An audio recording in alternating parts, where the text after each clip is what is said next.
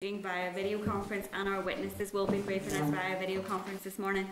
Um, the meeting will be broadcast live and a recording will be made available on the committee's web pages on the Assembly website. So just to remind members to mute their tablet devices by pushing F4.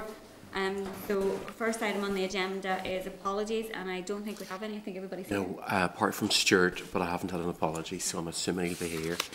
Chair. Um, item number two then is the draft minutes, um, which are at page five of your pack, um, from the meeting on the eleventh, no, the eighteenth of, um, That should be the 18th. I don't know why that still says 4th. It's tricked me. Um, are members content that they're an accurate reflection of the meeting? Great. Thank you. So we're going to move straight on to item number four and come back to, to chair's business afterwards. Um, our briefing this morning is from the EU Exit Preparation and Transition Group um, about business readiness for the end of the transition period. Um, there is a clerk's memo at page 134 of your pack. Um, there is a list of initial questions regarding common frameworks at page 137 of your pack. Um, and we um, had a, a briefing yesterday um, through the chairperson's liaison group from the EU Affairs Manager about common frameworks. Um, so there are those questions that are there in terms of the initial questions we can put to officials, and um, then if there's anything that we need to follow up on, we can do that with the department. Um, at page 139 of your pack, Annex A is an update on business preparedness. Um, page 144 of your packs, Annex B is DFE's Business Readiness Action Plan. Um, and there is correspondence from the Minister on the current EU structural and investment funds at page 148. Members had asked for that breakdown. Um, and uh, last week after our meeting with NICVA, it's anticipated that the British Government has confirmed that details of the Shared Prosperity Fund will be announced following the spending review today, so we'll all wait with bated breath for that. Um, the British Government has said it intends to use the financial assistance powers in the UK Internal Market Bill to implement the fund, and obviously um, concerns have been expressed around that. Um, Just on the, sorry to interrupt you, just on the, the letter that the minister sent to the committee. I serve on this committee, but I also serve on the committee for the executive office. And I think there, there's obviously EU affairs and SEUPB and stuff like that. There's obviously a bit of a, a crossover between the two. Would it be worth forwarding that letter that the minister sent to uh, Colin McGrath, Chair of the Executive Office Absolutely. Just so he can see that as well? yep, We'll happy to do that. Yep. Thank you. Thanks, Christopher. Um, so then 4.5, this correspondence from the Minister on EU exit legislation at page 150 of your pack. The Minister has indicated that there are four SRs that are not expected to be completed by the end of the transition period as the limited time available to complete and secure legal clearance to drafts and progress the necessary assembly processes prior to the end of December will not be possible. In one case, the absence of sufficient information on the protocol means that the department is not in a position to develop draft legislation at this time. More information on these specific statutory rules is set out at Annex C of the Minister's letter at page um, 157 of your pack. There is a clerk's memo regarding the previous DFE EU exit briefing from the 30th of September at page 163 of your pack, and this provides detail around the internal market bill. So this briefing with the officials will allow for the committee to hear um, their views on around business readiness for the end of the transition period and to get any further updates that are available. Um, so I'd like to welcome to the meeting this morning, and if we could bring into the spotlight, please, um, Shane Murphy, Victor Dicolo, Julia Niho and Mary McIver from all of the EU Exit Preparation and Transition Group. So if I pass over to yourselves, no, not in spotlight yet. There they're coming. To do them one at a time. Chair, uh, can you, can you, can you hear me? Yes, I can, Shane. Where are you? Uh, uh, apologies, this, I, I think my video may not be working. This is my first time on uh, Starleaf. Um, I think the, the, the settings, the settings are, are, are, are clearly not, not, not, not, not uh, dove, dovetailing in relation to the camera, but at least my audio seems to be working. We've So, had these issues before, Shane, so Um, Sorry, there's you, you, uh, believe me, you're, you're missing nothing, not, not having the audio. Okay, um, uh, thanks for, um, for us being able to come along today, and I'm glad we were all able to, to, to make it, and the, the technology's at least holding up to do the minimum. Um, um, today's topic is business preparedness for the end of the transition period. Um, this is an, it's an important topic, but it's a worrying topic. And it's one where we've gotten more concerned as time has moved on, and yet so much else seems not to have moved very much. Um, with your permission, Chair, I, I I will just talk a little before probably getting uh, Julie involved to talk uh, in a little more detail around business preparedness, and then Victor will, will, will sweep up with some further material on, on, on some areas around the likes of trade and, and, and migration. But I th- I think it'll be pretty apparent from the, the, the slide deck that was shared in advance that you know there we, we have a significant level of concern. You know, in, in short, the evidence currently points to pretty low levels of preparedness by business. We were probably already concerned about preparedness, and then COVID came along, and that made things immensely more difficult. For an awful lot of firms out there, COVID is today's problem, mm. and they're trying to get their heads above water. We all know, and many business groups will come to the committee and call for certainty. They crave certainty. Um, and so businesses constantly express a lot of frustration about clarity and that that's really in very short supply at the minute. Frustration that things of this magnitude need clarity along with time to prepare and time to adjust.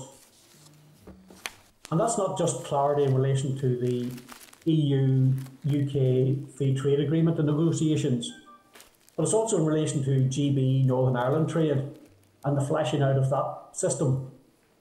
So that clarity is not always there in how things will work because a lot of key things are still being negotiated in one form or another between the UK government and the EU.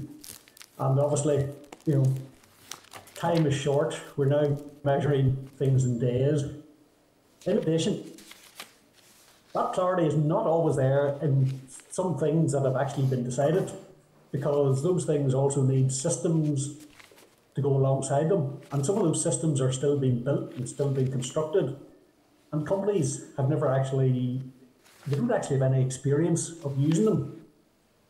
So, know, at that, at that high level, the picture is very concerning. You know, major changes are on the way in January. Some of those changes are not visible, but we're at the 11th hour. Some of those changes can be anticipated, and we have resources in place to encourage and help businesses to prepare, and we'll talk about, a bit about that later. But even on, on this more stable ground, businesses are really struggling to actually get around to make those preparations because of what they have on their plate with COVID. You know, speaking very candidly, as things stand, we're anticipating a very, very difficult January. And at that point, I'll pass on to Julia to get into some, some more of the detail, and then Victor will, will, will will follow up. Julia? Thanks, Shane. Hopefully, um, people can hear me. Um, yeah, I suppose I'll give an overview of the major cha- the major challenges as we see them. Um, as Shane said, we worry about business preparedness. You know, it's because we worry about disruption in the economy and in supply chains and how that would affect, you know our wider society. Um, the slides, I hope, give well, particularly the figures on the slides, give an indication of the scale of the challenge we have in front of us. Um, I always go back to that intertrade figure of 9% of businesses having a plan in place. That's um, very, very, very worrying. Um, when we think about business preparedness, I suppose that takes in every single issue around EU exit. Not all of those issues will be as disruptive as others. Um, And so we've a particular concern around issues that will be disruptive if businesses aren't prepared. Customs is one that comes, well, at the very top of that list, I think, for DFE. It's worth, I suppose, those figures lay out a quite a, a stark kind picture in front of us for January, but it's worth bearing and kind of laying the wider context around that, in that um, preparedness will look different different for different business businesses. So um, we should expect sort of commercial decisions when the, when the full reality of the kind of the commercial costs are known. So some businesses to prepare might be to, you know to put in place systems to do what they're doing now. Some businesses will do things differently, whether that means say not uh, um, not receiving personal data from the EU or not, you know, or purchasing more locally. And the other piece of the jigsaw I think is important to bear in mind is that particularly GB NI trade, the preparedness of NI traders is just one part of the jigsaw. If GB businesses aren't ready to sell to NI, then that's a big, big issue for us. I particularly worry about that one in that um, Northern Ireland businesses will at least have been bombarded with messages around the protocol, at least in their consciousness, some idea of what they have to prepare for. Um, GB businesses are, may not have the same um, of the issues that might arise, and so may have a, a lower sense of the need to prepare. As Shane outlined, there's a lot of things about this year that we would have would have wished would be different, but equally we can't change them. And in the last while, we've tried to get the message to businesses uh, to prepare for what you can now. You know, you cannot wait for certainty on everything. You need to take whatever actions you can now and plan to take the next steps whenever you, you have them in front of you. Um, and so that being said, what actions are we taking? I suppose that action plan gives you some sense of the range of activity. Um, Invest and Intertrade both have media campaigns ongoing. Um, we're talking to stakeholders an awful lot. Um, a key thing in the next while will be inf information. We get asked a lot about what we're doing to support businesses and what businesses tell us what is that the most important thing at the moment is clear information about what they. So um, they told us that they is what a lot of businesses use already in terms of uh, looking for COVID schemes. So we've tried to direct businesses to that in terms of EU exit information, just to have one source of information, because I think it's quite uh, confusing to have to go to, uh, say, lots of different websites to get um, to get information.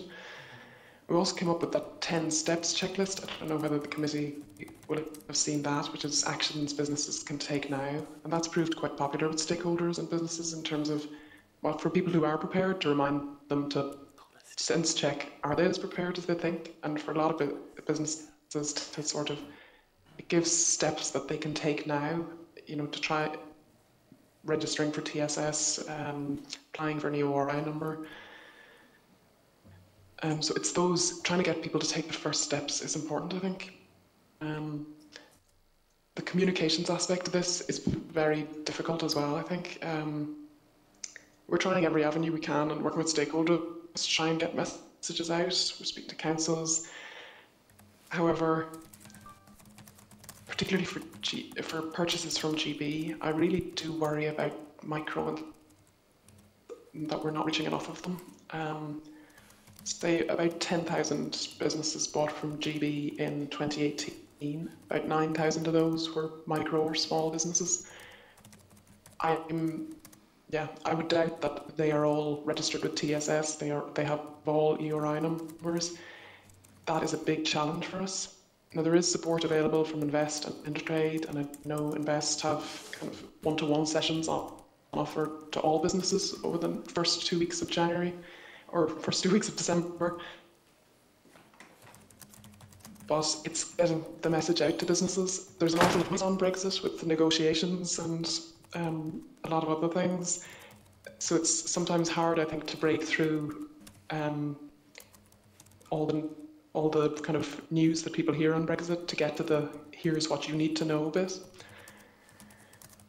And finally, I suppose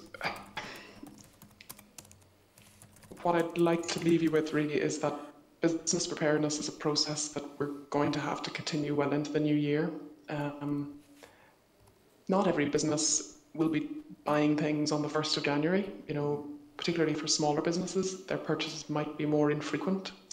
So we need to be ready to help them when they meet frictions they're not prepared for.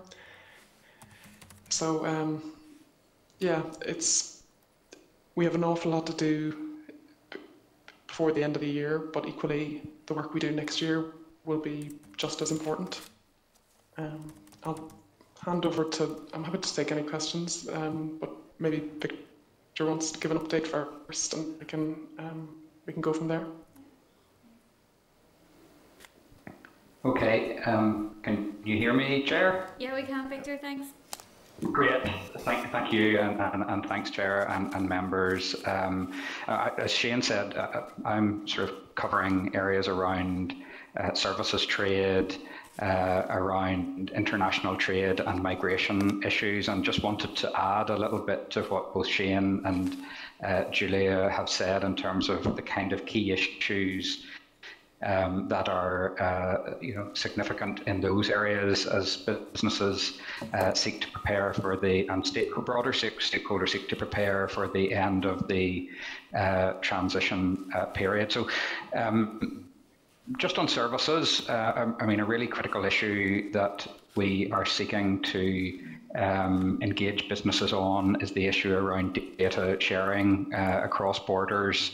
Um, really important. Something uh, I think uh, you know under GP, GDPR, that, uh, something businesses have got used to and stakeholders have got used to.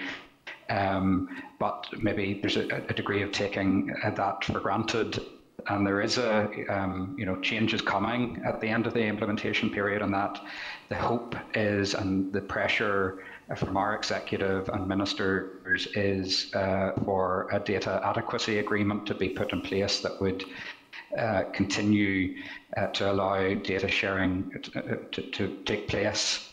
Um, but we haven't got to that point yet. And as others have pointed out, there is a lot of work uh, still to be done, you know, and uncertainty around what an, an agreement between the UK and the EU will deliver if there is one. Um, so, uh, I mean, there are concerns as, as uh, and, you know, in similar scale of preparedness that Julia has pointed out. We, as a department, have done some specific survey work, um, replicating a, a, a, sort of a UK-wide survey, uh, but focusing in on, on Northern Ireland businesses to identify what plans are in place for data sharing. That survey shows that only 6% of businesses have contingency plans uh, in place to address uh, a lack of a data adequacy uh, decision. 80% are saying that they have uh, not taken any preparatory work on at all in this space. So those just identify the need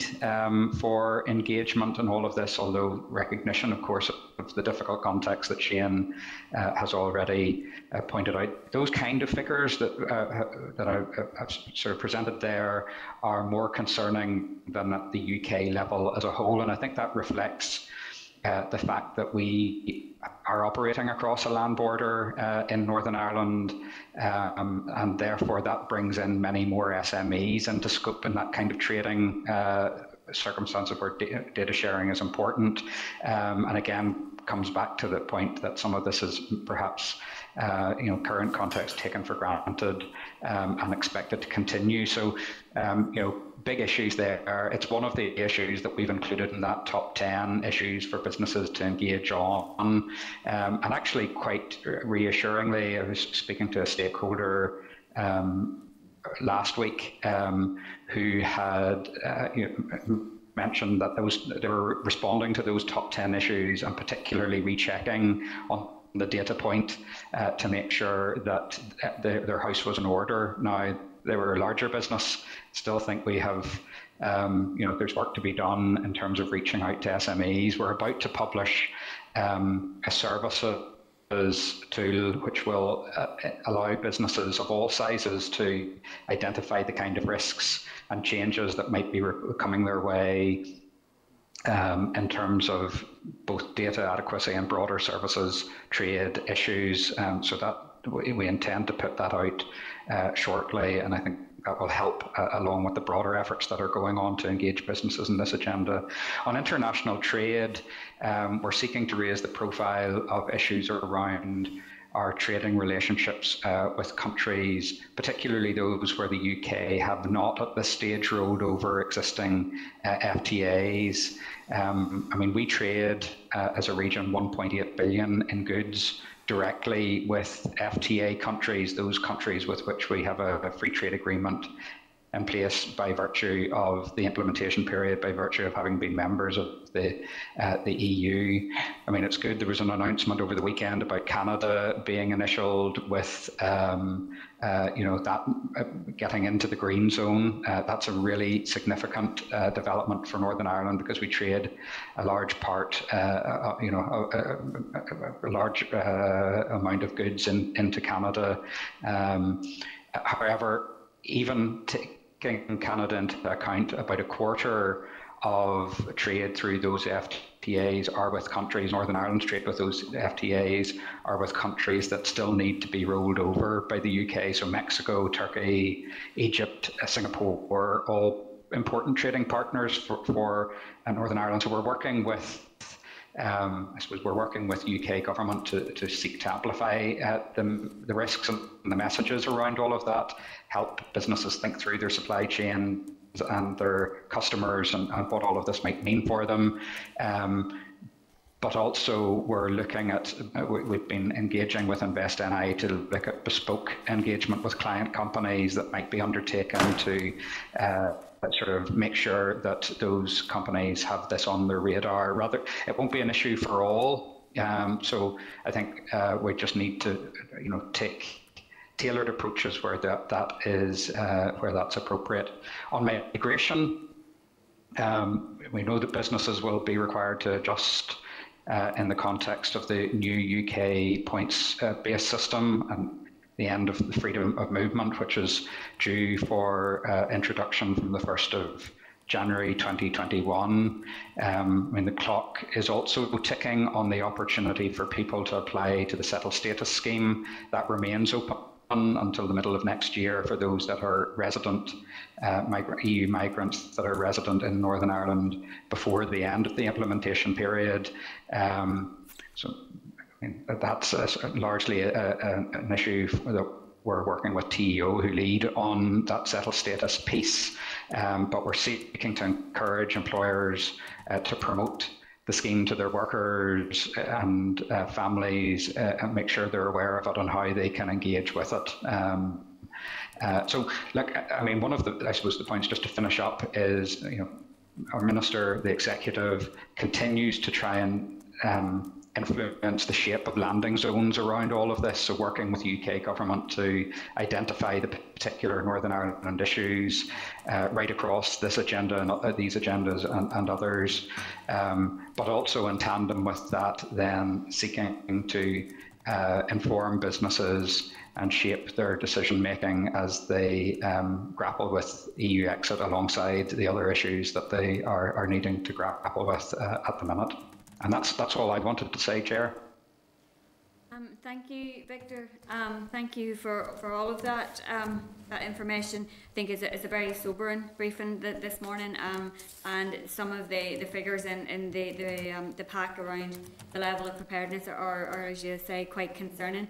Um, I guess one of the things that we have been told as a committee from business representatives over the past number of weeks and months is the lack of bandwidth that businesses actually have to be able to prepare at this um, time because of, of, the impact of COVID and trying to deal with all of that. And Brexit is an added level, level then of, um, of disruption um, and potential for really, really serious impacts come the beginning of January. Um, I, and just this morning, there's been another quite downbeat assessment from Ursula von der Leyen about the, the progress in terms of, of negotiations um, and around the, the EU being prepared for a, a, a no deal outcome in, in respect of that. So I guess that will be one um, uh, question that I would have in relation to the contingency if there's a, a no a non-negotiated outcome, as, as it's called, in terms of um, a free trade agreement and being businesses being in any way um, ready for being able to trade at the beginning of January in, in that context.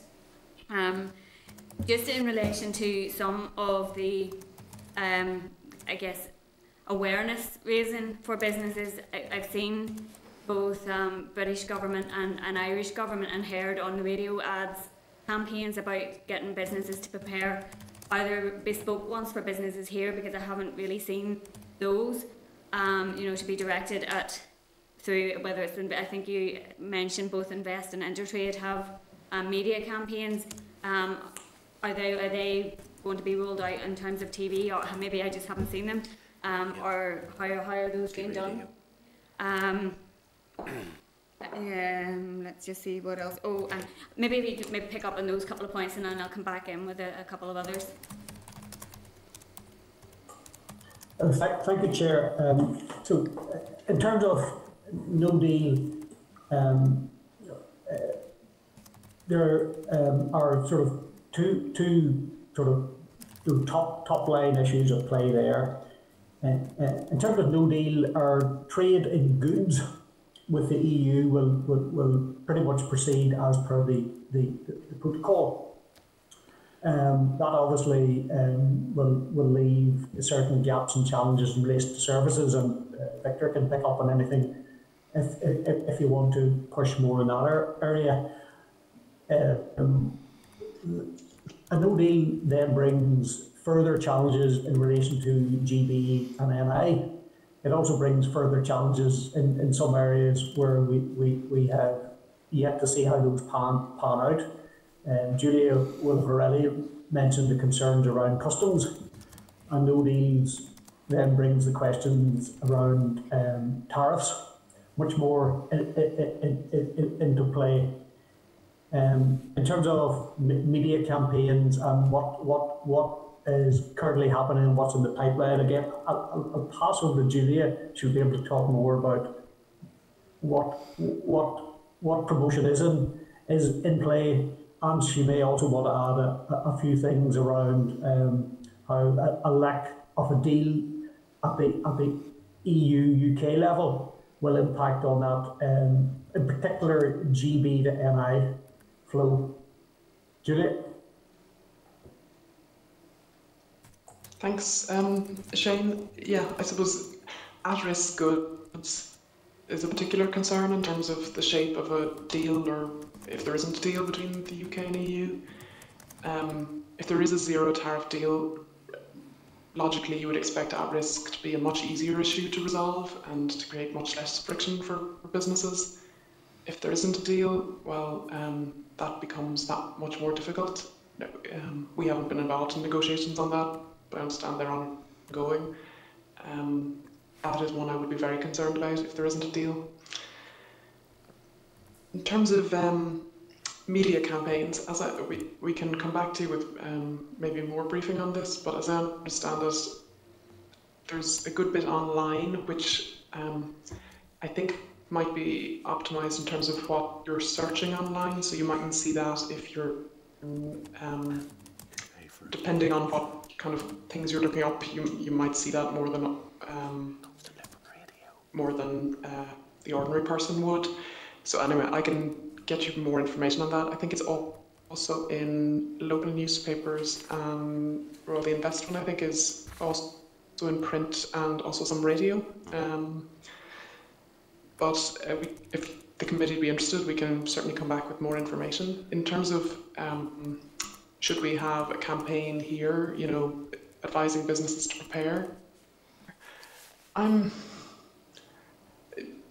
at this stage, general message is that effective in terms of you know businesses need to prepare. I think our businesses know well they do need to do things. I think it's not not clarity it hasn't helped. So um, I think rather than my personal view would be rather than a broad messages of you need to prepare, I think given the limited time left, the message needs to be more tailored probably in terms of if you do X, you need to do Y, you know, um, because businesses really have so little time and those general messages, um, they rely on a business to then kind of figure out what they need to do to prepare. And um, well, that's been very difficult so far, and it's not going to get any easier, I don't think. Just to come in behind that again, uh, obviously uh, none of us are, PR folks, and uh, when it comes to the effectiveness of different channels of communication, you know that's that's where we rely on the, the likes of the Executive Information Service to understand what, what will be effective at, at, at getting messages out. One of the one of the steers has been that um, you know, the, the use of the use of ministers uh, can be effective at, at getting messages out, and you probably have seen that the, that the minister has been um, encouraging through the likes of uh, sort of social media channels and so forth to in, in, in, uh, to, to try and encourage businesses onto that, that central resource that is um, NI Business Info to, to encourage businesses to, to, to go through that checklist, the 10 steps, and take the, the, the, the, the subsequent action. Thank you. Right, thanks for that. Um, and it would be useful if we could get a, a further um, briefing at some point in relation to, to what is planned in terms of, of media. Um, and I guess even directing businesses to, to the NI Business Info um, 10 point um, checklist that, that is there um, might be a useful starting point for, for them. Um, and I guess that brings me to one of my, my next questions. Do we have any idea of the numbers in, in terms of take up to the Trader Support Service and in terms of getting their EORI numbers um, and how you know businesses are, are finding that um, process? Um, and just to go back to, to your point around um, at-risk goods, um, Julia, if um, have we any um, indication of progress in relation to that particular issue? Um, obviously, it was one that uh, when we have asked questions about, we're told that there's consultation ongoing with business representatives and, and things like that through the, the NIO. Um, so it would be useful to maybe get um, some um, update on that if there is any. And also further in relation to the internal market bill, has there been any um, ongoing um, engagement in respect of that?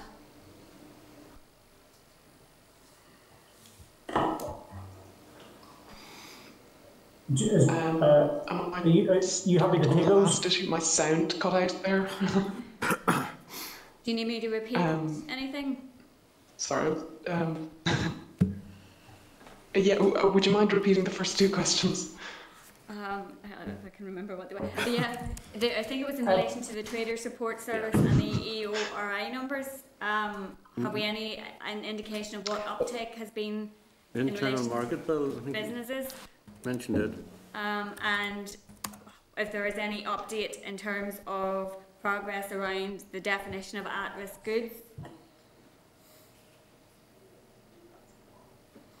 Okay, great. Uh, so on the trader support service in particular, um, HMRC do have figures. Um, I would check with them in terms of what can be shared with the committee. My sense is that, say, if the um, if 10,000 businesses in 2018 were buying from GB, I, I don't. The, level of registration is not 10,000, and if you also take into account that they need GB businesses to register as well. So um, if you can you know, you could say every NI business is buying from at least one business in GB. So that would say you'd need at least 20,000 businesses. Realistically, it's probably a lot more than that that you need to have registered.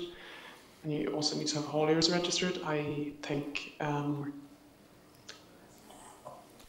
I don't have any sense but that we are in the very early stages of where we be by the end of the year in terms of registrations for TSS. On EORI numbers, um, the committee might have seen some of the social media um, kind of stuff on this in that so businesses will need both a GB EORI number and an XI EORI number. They, the process for getting an XI EORI number hasn't yet opened. Um, I'm told there'll be more clarity in the next week or two in terms of what businesses need to do to, to do that.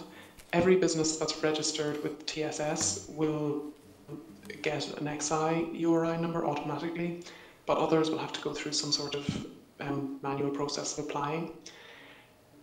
On EORI numbers more generally, I know that um, um, HMRC had automatically allocated EORI numbers to businesses that trade with the EU. Obviously, it's a much more complicated picture in that um, HMRC, because it's internal UK trade, have no idea which businesses um, purchase from GB, so they cannot do it automatically. So we need businesses to register for EORI numbers, and it's very difficult to target who needs to register. Um, my sense is that larger businesses, medium, medium businesses are probably well ahead, well ahead of the game on that one, and it's smaller businesses who have never had to engage with customs in this way before that I would worry about. Um, on at-risk goods, um, I don't have a great update to be honest. It's I know negotiations are ongoing. Um, it seems it seems tied to the question of uh, tariffs and quotas and the overall deal. So I would expect um, movement on that to be kind of in time with movement on the overall deal. I, it's very, very difficult for businesses to make decisions on, you know, their supply chains without knowing whether they're going to incur a tariff liability. That's um, particularly in the current circumstances where a lot of businesses um, with COVID have had a lot of pressure on cash flow. The prospect, you know, more uncertainty and particularly more uncertainty around debt is just not something that businesses can countenance at the moment. Um, and so some businesses, um, some it won't worry in that they might have looked, uh, looked through the tariff codes and worked out how big the liability would be in a worst case. But, you know, profit margins are not massive. You know, even a tariff of 1% to 3% would, would probably go a long way to reducing your profit on particular goods.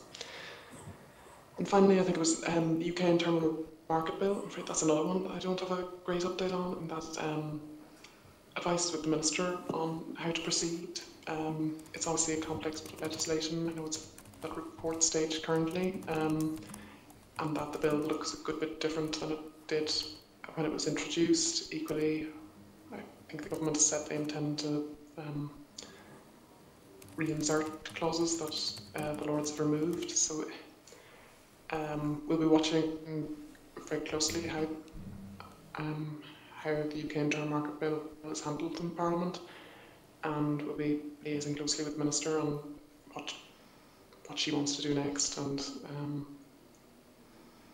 any decisions the executive should make on it. Um, thanks for that, Julia. And I guess that that is our, our very real concern in all of this. The, the, the very late hour that it is in terms of businesses being able to prepare, prepare in any meaningful way before the end of the year, and the fact that it will likely be um, a few weeks yet before they know what they're trying to prepare for, um, and the, the lack of, as we said earlier, bandwidth in terms of you know having any capability or or financial resource to do so. So just in, res- in respect of that, um, is the department planning to make any specific funding available to support businesses? Um, there was announcements earlier this week about um, small business loans being made available in the south. Uh, in respect of business or Brexit preparation, is there any plans for anything similar um, here? Um, I think I saw that announcement as well. It was Microfinance Ireland, I think. Um, support is available through Invest and through Intertrade. Um, they both have either Brexit vouchers or Brexit grants on offer. I I have not heard from either body that uh, they are overwhelmed. You know that money is still available, and we would really encourage businesses to avail of it. We also recognise um, support, you know, we're going to need more support next year. Uh, um, we have bid through DOF to Treasury for that, and that I think support to business.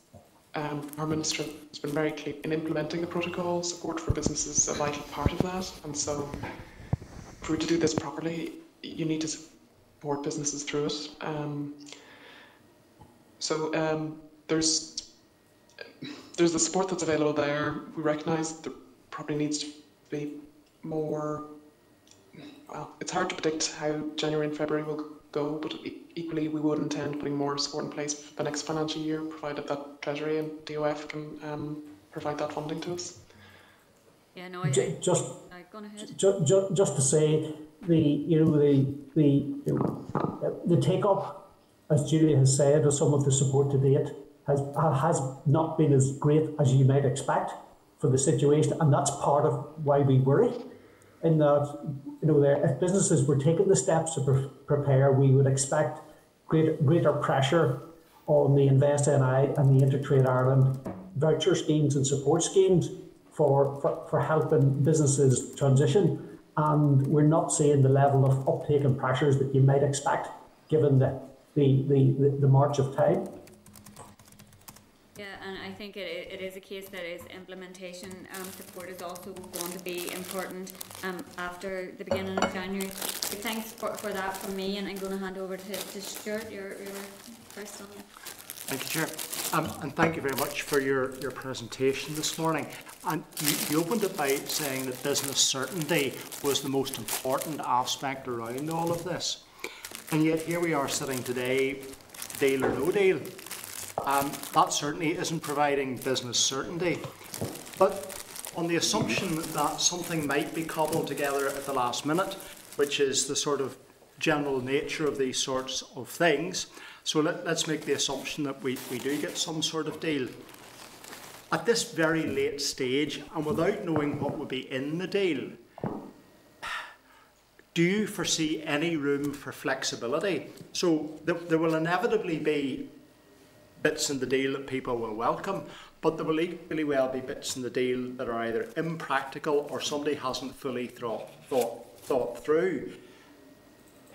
Will there be, do you foresee any opportunity, particularly if this goes against Northern Ireland businesses, do you foresee any opportunity to redress uh, what potentially could be an absolutely an absolute bear trap in the middle of, of any deal for Northern for Northern Ireland?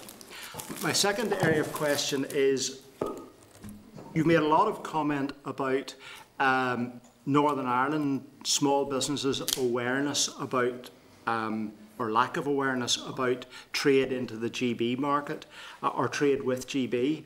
But to what estimate do you have of GB businesses having any awareness of their ability or inability or different barriers being put up to them uh, to trade into Northern Ireland. There are lots of businesses in, in the UK that that quite naturally think of us as just being one place and uh, trade away. Lots of stuff comes by post and mail, uh, small items and things like that. And if there's a, if there's a, if there's an issue about that, it, yes, it's important that, that we drill down to the very smallest businesses here in Northern Ireland and get them to understand that they need to register, that they need things. There may be things that they're going to have to do. Uh, but is there any is there any equal and opposite campaign? I appreciate that the two markets are completely different sizes, but is there any equal and opposite campaign uh, in the rest of the UK to alert them to uh, what might happen being able to do business in Northern Ireland? And, and, and finally, just as a general comment,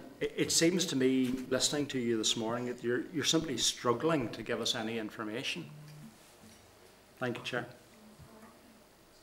Um, thank you. Um, um, we, we, we do struggle to give you information in areas where we ourselves do not have information. And um, I, I, you know, I think the, at the risk of going over some of the things we, we had before, you know, negotiations between the EU and the UK, on, and we're not just talking about the FTA negotiations, but also fleshing out of the protocol.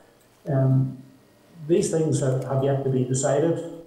Um, in many cases, we're, we're, we're not in the driving seat, we're not necessarily in the rooms. And so, um, unfortunately, um, we don't always have the information, we don't have the foresight, and so we, we do not know how things will necessarily pan out. And um, you know, we'd rather be honest about that rather than speculate that it, it may turn out one way or the other. In terms of business certainty, and, and you talked about um, on the assumptions that there would be a deal and, and, and, and the adjustment for that, I think that's what we talked about earlier. Businesses would crave certainty, they would crave um, knowing in advance, they would want that uh, to involve uh, periods where things are phased in. They would want to, uh, that to involve uh, time to adjust. They would want to um, have trial runs at using systems. Mm-hmm. So um, the question of whether this would involve sort of pathways to uh, compliance and implementation, whether this would involve transition periods, whether this involves grace periods, um, ultimately those are things which are political negotiations between the EU and the UK. And I suppose, in short, we're not in the room to understand whether those things are on the table and being discussed or are off the table. Uh, uh, unfortunately, we're not in a position to confirm or deny whether that sort of flexibility um, um, can, can, can be part of the overall outcome. Certainly what we hear, and it's probably no different to what you hear, would be that in the context of an overall deal, the potential for flexibilities and transitions and pathways, you know, there are, are, are likely to be, um, you know, that, that's likely to be a, a more favourable setting compared to uh, in, in, in, the old deal situation. You also brought up um, about awareness um, in, in relation to the, the, the GB side. And um, uh, we talked about earlier uh, up, uh, uptake of TSS. We also talked about earlier that um, when it comes to trade with GB, it takes it does take two to tango. Yep.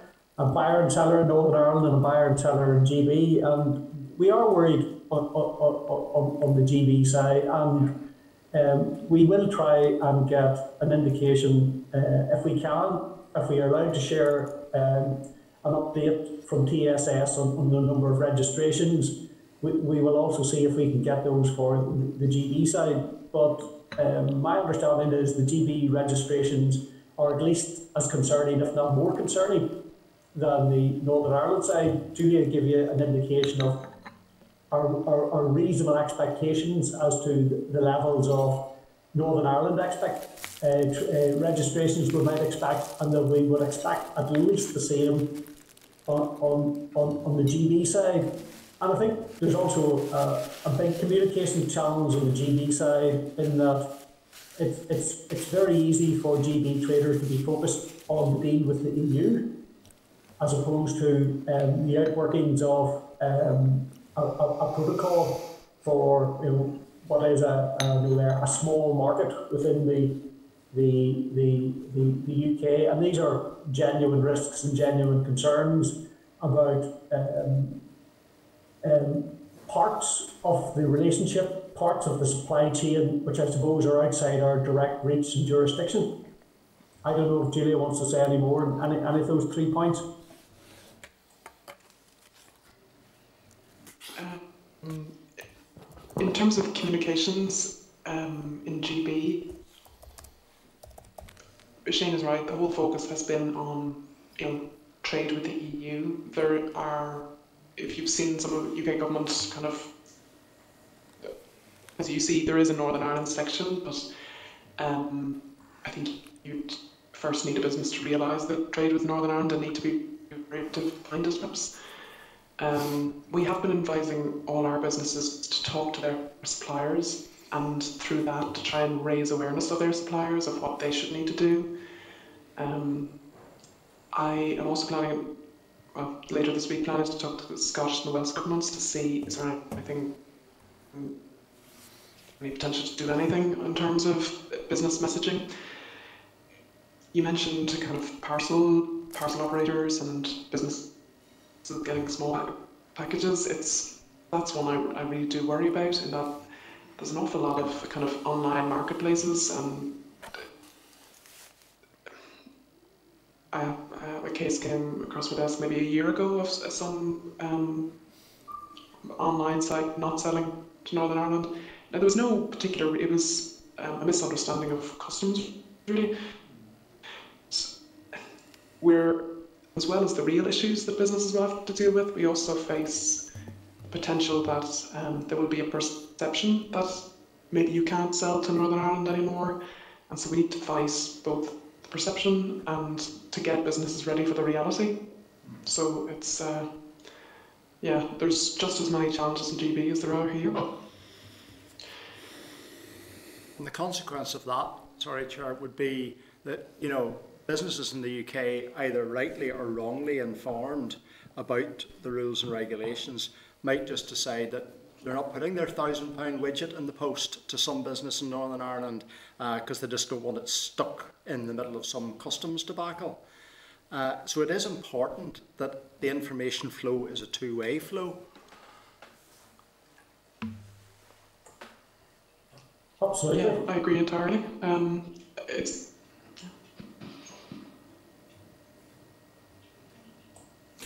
Okay, Chair, thank you.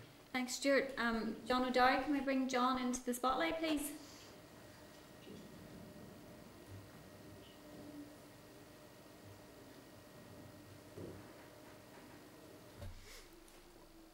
John, I think you're on mute. I am. I'm not okay. Can you hear me now, Chair? Yes. Thank you, and thank you for the presentation of Clara and your questions.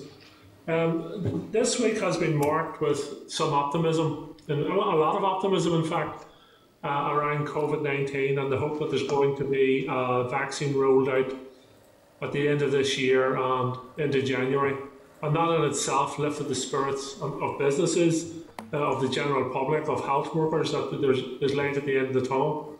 Uh, but there doesn't appear to be a vaccine for Brexit. Um, we are, as Shane said, uh, we are in for a very, very difficult January. What? And uh, this is a, a general question, so I accept this is not your responsibility. This question is not your responsibility.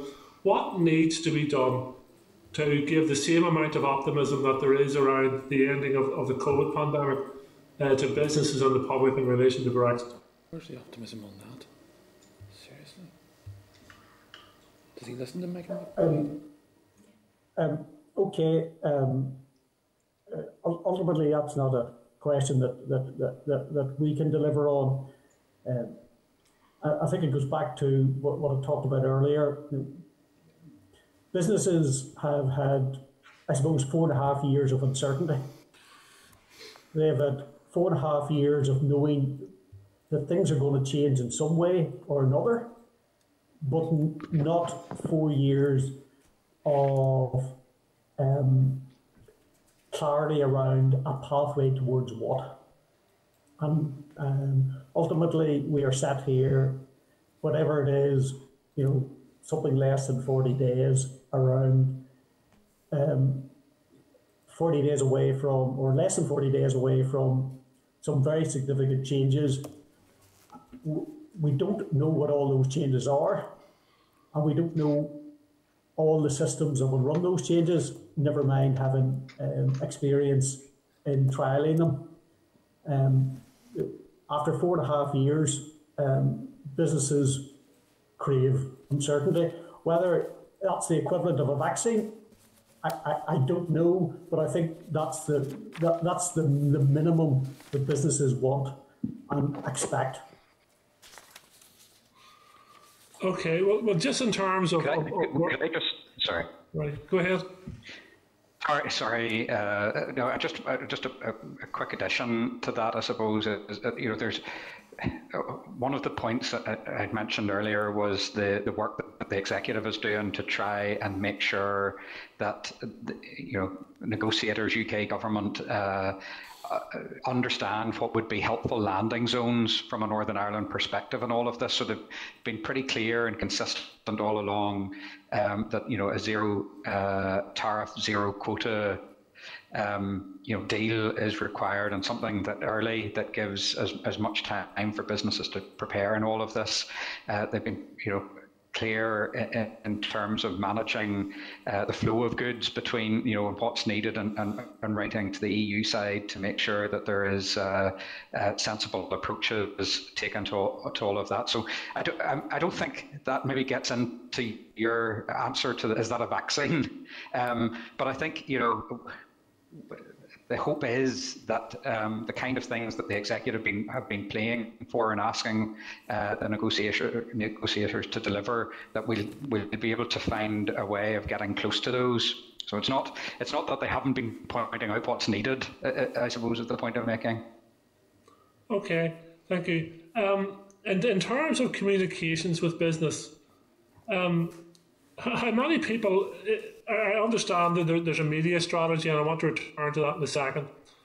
But actual individuals available, whether in the department or in Invest NI, who are actually physically either on the phone, and I know it's difficult to, to visit businesses during the COVID 19, but how much actual contact is there with business uh, uh, from the department? I use that term loosely because there may be other agencies involved in this. How many people are actually involved in that communication, lifting the phone, whatever it may be, to uh, businesses saying, look, this is what you need to do. Uh, I'm here to offer you advice. Uh, there's a number of useful links online, etc. Does that happen? Is those resources available to yourselves or to another uh, branch of the department to be doing that?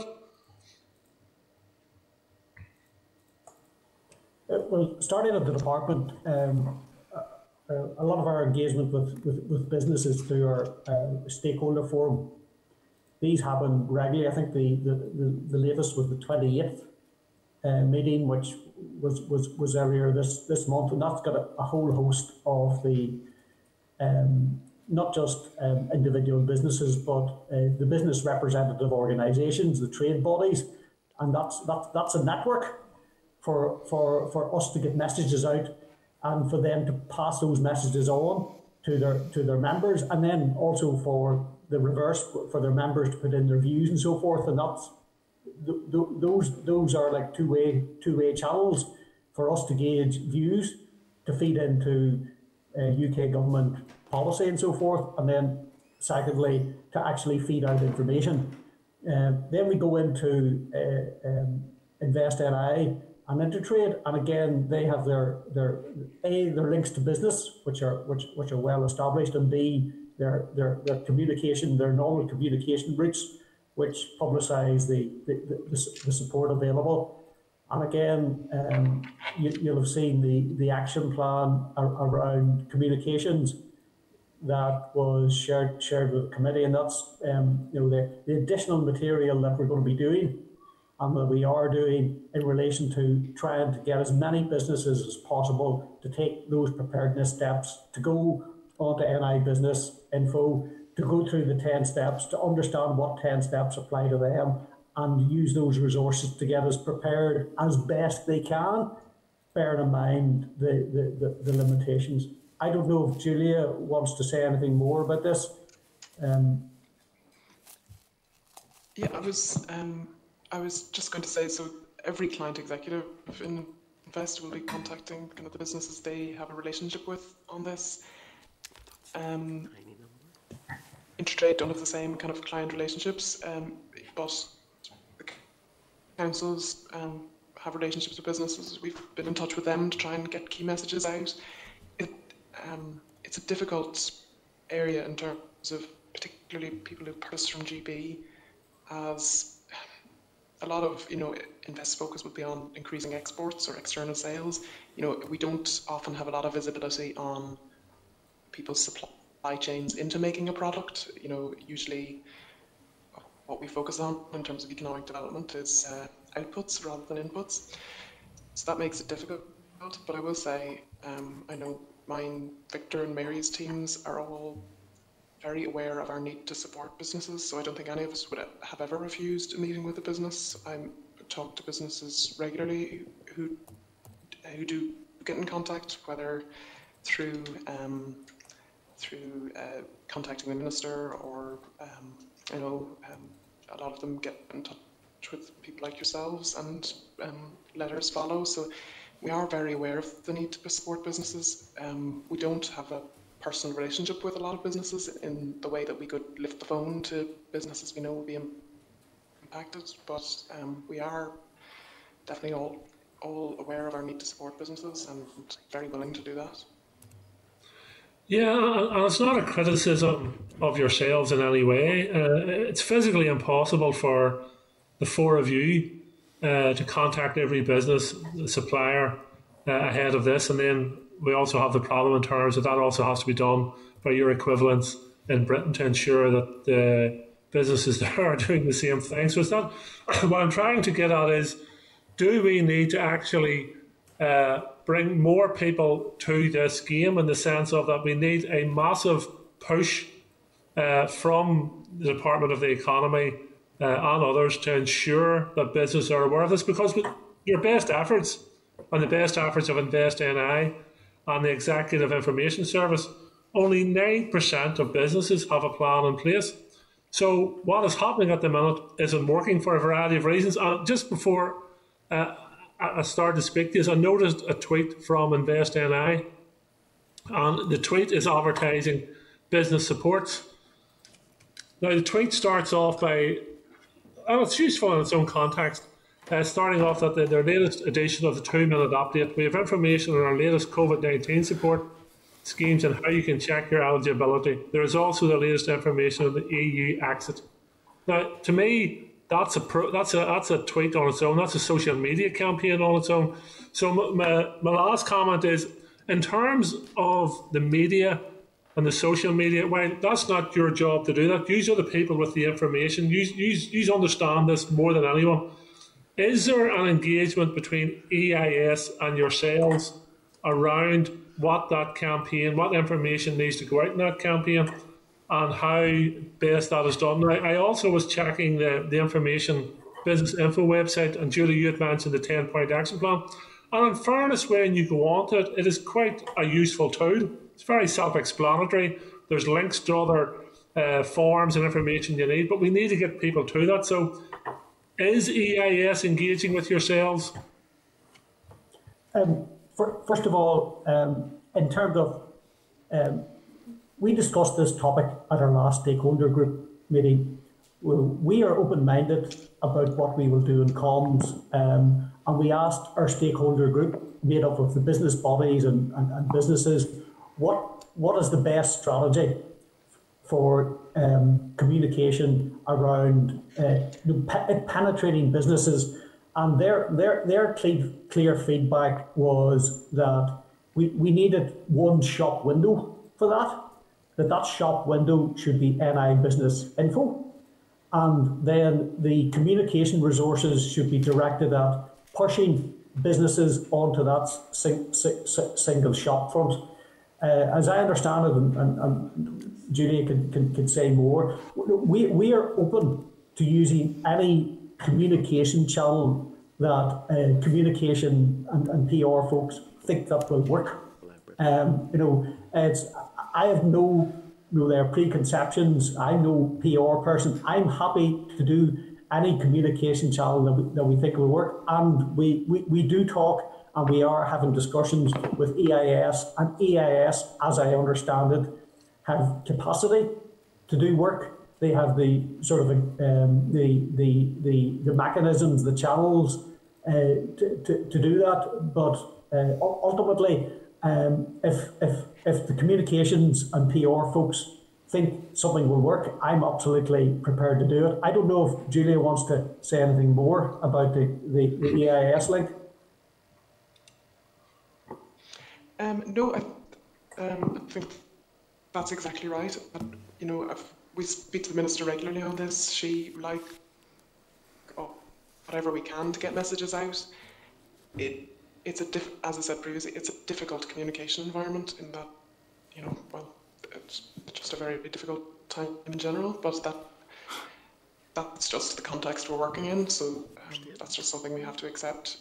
we um, will be talking to EIS. Um, there's a regular kind of communications update that does include them, um, which includes invest in trade as well. So um, yes, something that is on the table at the moment is what um, further use could be made of EIS. Um, we just, as I said earlier, be keen to make sure that that raising awareness, I suppose, isn't good isn't good enough at the moment. We need to raise awareness and get people to take action because just knowing, you know, God, there's a big hill in front of you, you know, it doesn't do much for what we're facing in January. So, well, from the department, we we want to be sure that the action we take is effective. And anyway, it's as you say, it's been very challenging to date. I don't expect it to get any easier, but we will be doing everything we can, and that includes engaging with the EIS. Okay, thank you. Thanks, John. Um, can we bring Sinead into the spotlight, please? Good morning.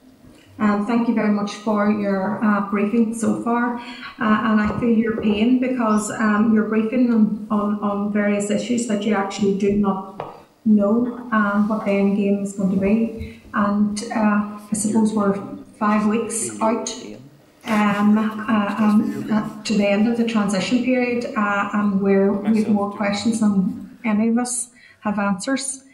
So, uh, uh, and regarding just back to what John O'Dowd was saying, it's very difficult to have any type of PR campaign or information campaign when we don't actually know what we are trying to say or what our messages are because we have no clear indication of what the deal is going to be. But we we have some indications that that 95% of the negotiations are now complete, uh, and, and it's just the three areas: the fisheries, the governance, and the level playing field that are still difficult, which are major major issues.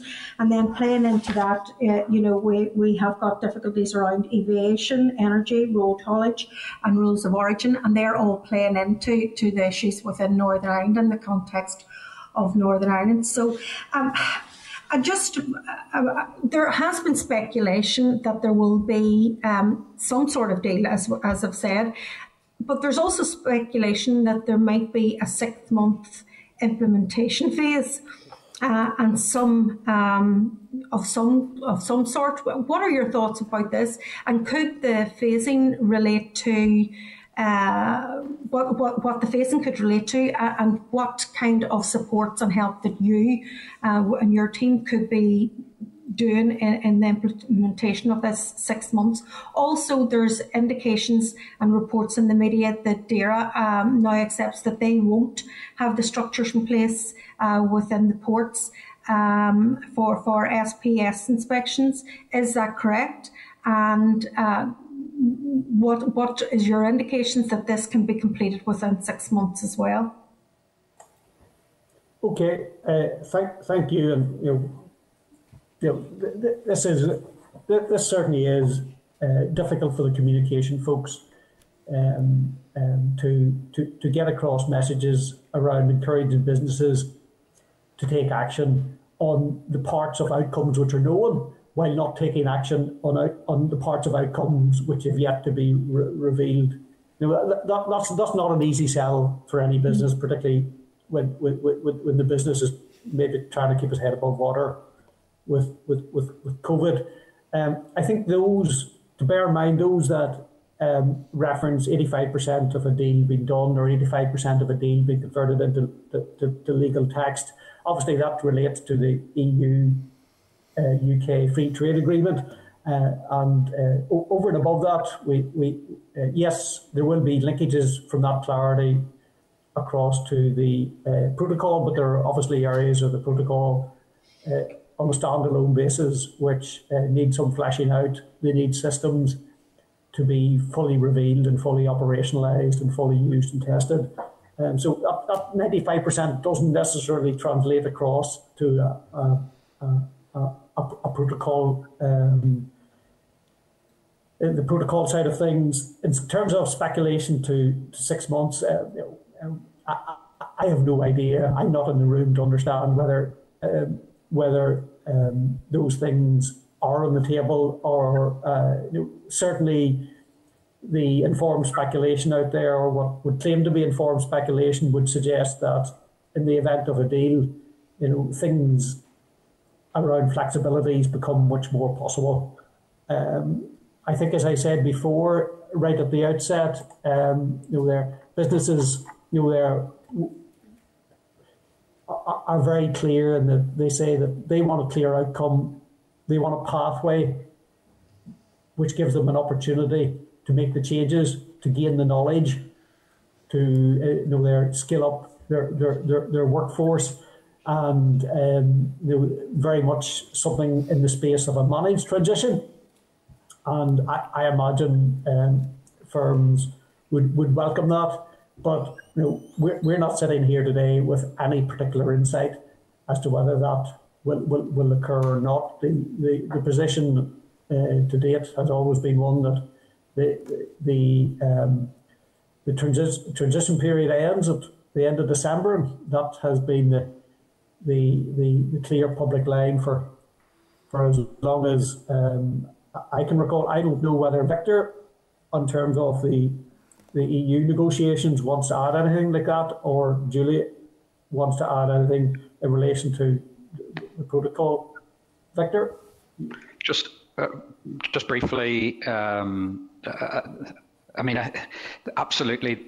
The, the, the, the noise around that, the plea, I suppose, from, from stakeholders is intensifying, and, and that's uh, that's becoming pretty clear and apparent. I mean, there's there's no sense that um, positions are changing around the negotiating table on all of this that we're picking up. Uh, but yeah, there, there, there's, there's no doubt it, it, there's a, a, bigger request for that uh, managed transition. I suppose in that context, um, it's really important that we get um, that that a deal, a, a deal is done and that's the right deal. Um, I mean, even if there was a, a some kind of a, a you know, a, an opportunity to um, delay the, the implementation of that or adjust the implementation of that for six months or whatever, you want to be for the long term getting the right deal. And I think that's where the, the priority needs to be. And I think that's where the executive I mentioned previously uh, to, to, to, John O'Dowd, that's where um, the, the executive is seeking to, to place um, influence and uh, make sure that the deal that's done works for Northern Ireland as best as we possibly can uh, make it work for Northern Ireland. Thank you for that, Victor, and I totally agree. Uh, it's important if there is any flexibility um, on on implementation um, that that we have time to prepare and time to adjust and that's that's uh, that's really what I'm talking about. It's not about um, uh, an extending of, of this negotiation because it's been painful enough to date. Um, and we just need clarity on what the deal is, and then our businesses then can step up to the table and make the, the appropriate preparations and that because it really is very worrying when you look at the data that uh, was sent through to us uh, and the level of preparedness. They're not prepared. Not prepared. It's not that they don't want to be prepared; they don't know what to prepare for. So, in the absence of that certainty, uh, then there, we've got you know everybody in the headlights. Uh, just waiting for clarity, and then they will uh, move in uh, and get operational. But January is going to be tough. Um, if, if there is no flexibility in that preparedness, and adjustment, it's going to be tough for businesses. It's going to be tough for our small business, and that's what we are. We're a very small business uh, economy uh, with very little resources for, for that level of preparedness. So um, I am concerned. I'm concerned uh, at all levels, and as I say, the the bandwidth, uh, as, as the chair said, for um, our business community at the minute with COVID and the preparations and, and impact of that um, is tighter and tighter. So uh, as we are, we're counting down the days now, uh, literally, and uh, it's just regrettable that we've got to this. And I'm, I'm hoping that there's not just games playing um, within the UK EU uh, part because this is having a real impact. Sorry, did I cut across you, Julia? no, I was um, I was just going to say that you know it sort of links to the wider communication effort. We mm. like I think most businesses would welcome, you know, six months implementation or whatever, but we need to really convince businesses to prepare for January, you know, and to not to. There has been so many sort of extensions and um, to date in the Brexit process that I think some businesses might have an idea of that this would, you know, there definitely be another extension. I don't think we can, you know, for our own work on preparedness, we really need to focus on getting people ready for January. You know, wonderful if there was some announcement, but um, it's um, yeah, our main focus will be just trying to get them ready for January and trying to get that message out. And, and I really didn't get uh, any clarity about the, the infrastructure in the ports. Um, have you any idea um, when that will be ready? Because that's going to have an impact on delays um, at our ports. Uh, and also will be very off-putting for for uh, those that are sailing into Northern Ireland as well. Um, and, and, and what kind of work is is being pushed, and is there extra uh, support being given to the ports to make sure that they are ready in time?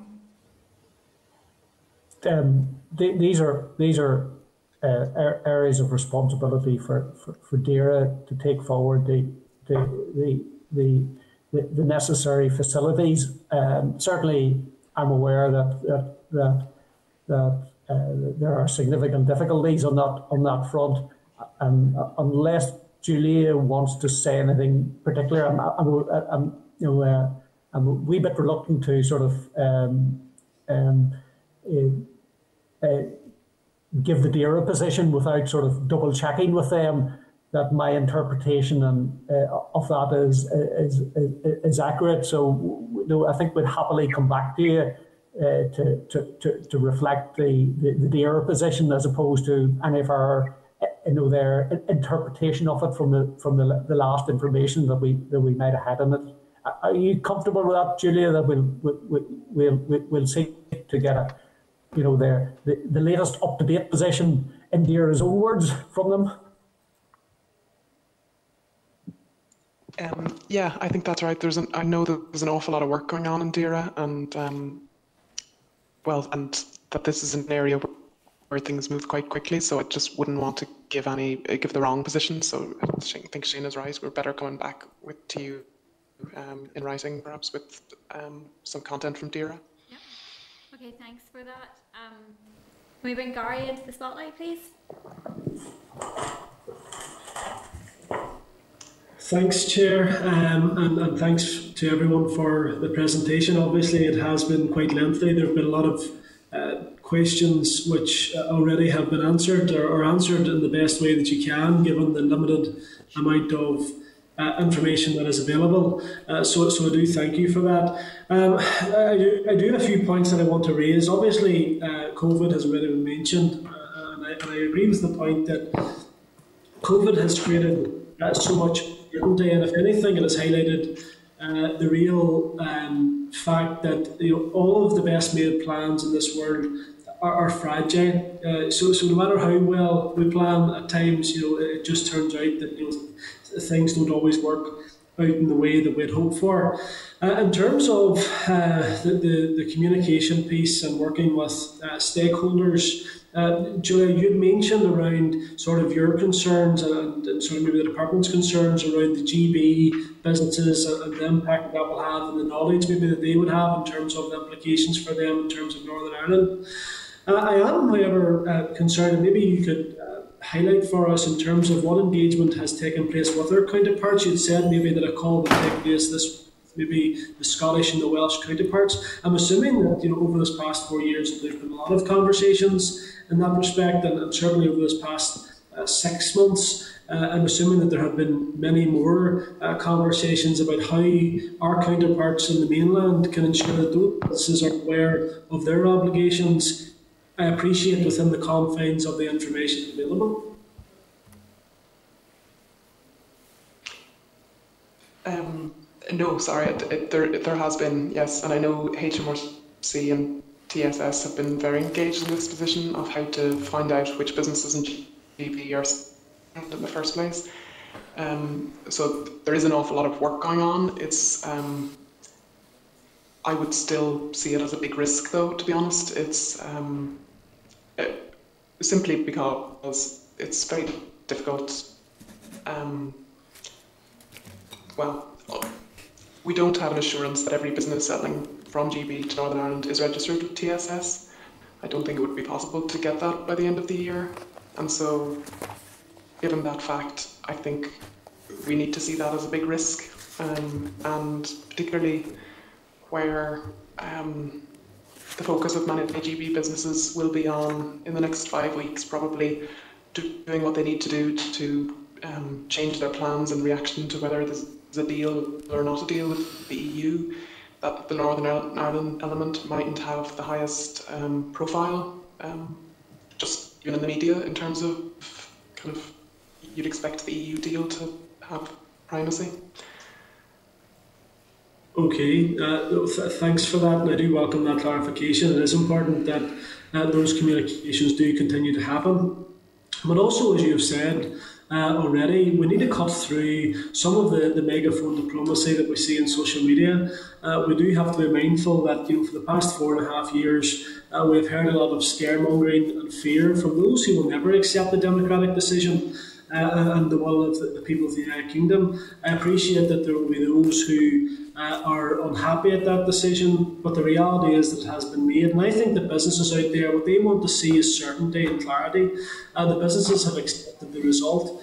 Uh, we need to cut through that and get to the point where uh, the EU and the UK can, can come to agreement. I think that you know there's a consensus in that respect, and that look, we all want to see a deal that is uh, sensible, but we can't have is sort of that one-sided uh, protocol solution, which will uh, do ultimate damage uh, to local businesses. So that's really all I want to say. I do really appreciate uh, the update that you've given. Uh, probably not an awful lot new in it, but that's no reflection on yourselves because you are, are obviously working a lot of hours and working tirelessly to try and give as much certainty uh, to the businesses and to our committee as you can. So thank you very much. Thanks, Gary. Um, Gordon? Thanks, Chair, and thanks to the the panel for uh, doing your best with difficult communications today, and I appreciate that. Just a point of clarification, early on we talked about the percentage of businesses had made no preparation. Was it 80%? Was that, was that correct?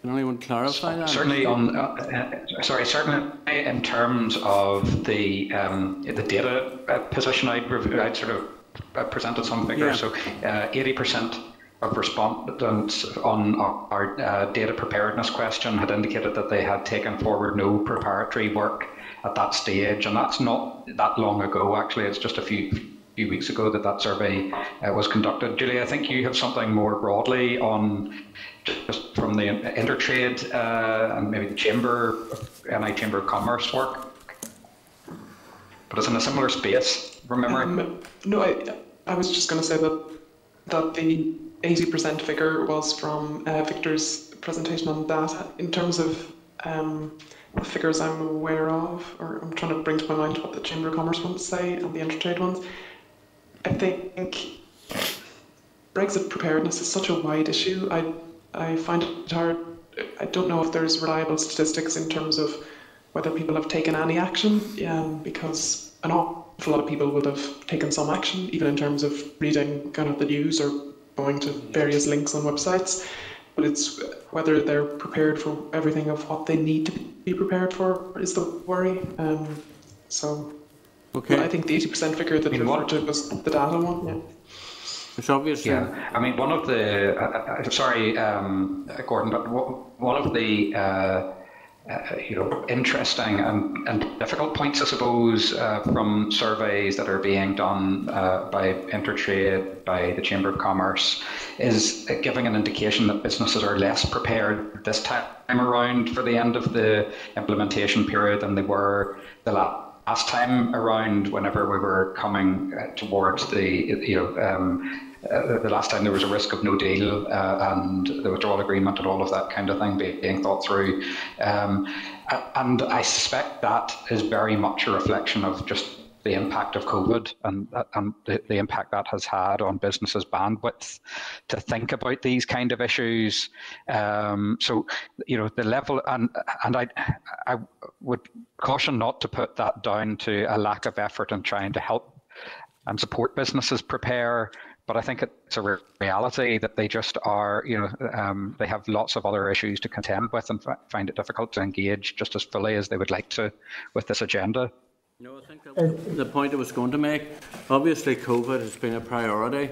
They're busy doing the day job. They're busy trying to, to meet all the demands and, of, running a business. So, um, you know, that's probably a major factor. But uh, the other point is well made is the lack of clear information and direction on it, not from yourselves, but from many others that are involved. Uh, just my last point is a, something I've brought up before about businesses, especially manufacturing businesses, at, at present do require a considerable amount of documentation now, a lot of that documentation used to be hard copies, now it's electronic. So, do you really think that if there are controls put in, and we trust them not be put in, but if there are controls put in, any further documentation will be a major barrier um, in, in, in a structure that already is used to dealing with it. I'm thinking about documentation such as um, verification, say, on the quality and manufacturing standards, um, quality certificates, certificates of conformity.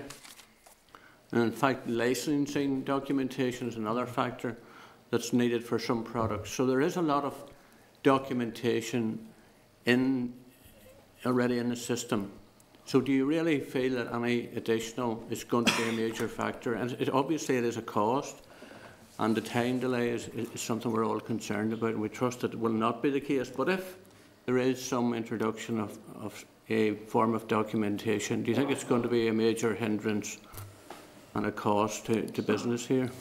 Um, on, that, um, I think we've been, you know, we've been pretty clear, including uh, on material that we that, that, that we published, that the new frictions that lead to um, you know, new bureaucracy leads to new costs, and um, ultimately, yeah, in order to you know, there, minimise uh, impacts, those practicalities need to be ideally negotiated down or negotiated away, um, and and certainly frictions that end up in in, in significant costs, significant paperwork. Um, uh, sort of costly checks and so forth, over time will impact on trade, will impact on business. Um, um, that's that, uh, and um, I think there's work we published in the past which pointed to that the, the practicalities really matter. And the more you can negotiate them away, you more you negotiate those those, those costs away. Um, and uh, I think it's uh, a, a, an entirely fair sort of um, sort of con- conclusion to make. Julia, I'm not sure if you want to add anything, but um, um, I was just going to add that customs is, I suppose, the one we worry about. In that you're right, a lot of manufacturing businesses will be very familiar with goods regulation and um, familiar with what they have to do. I worry an awful lot about the businesses who have never done customs before you'll know that kind of the to take to take yourself from not doing it at all to doing it is a big cost in terms of familiarizing yourself with things. Um, and I'm sure businesses will be aware of that from kind of new goods regulations that come in.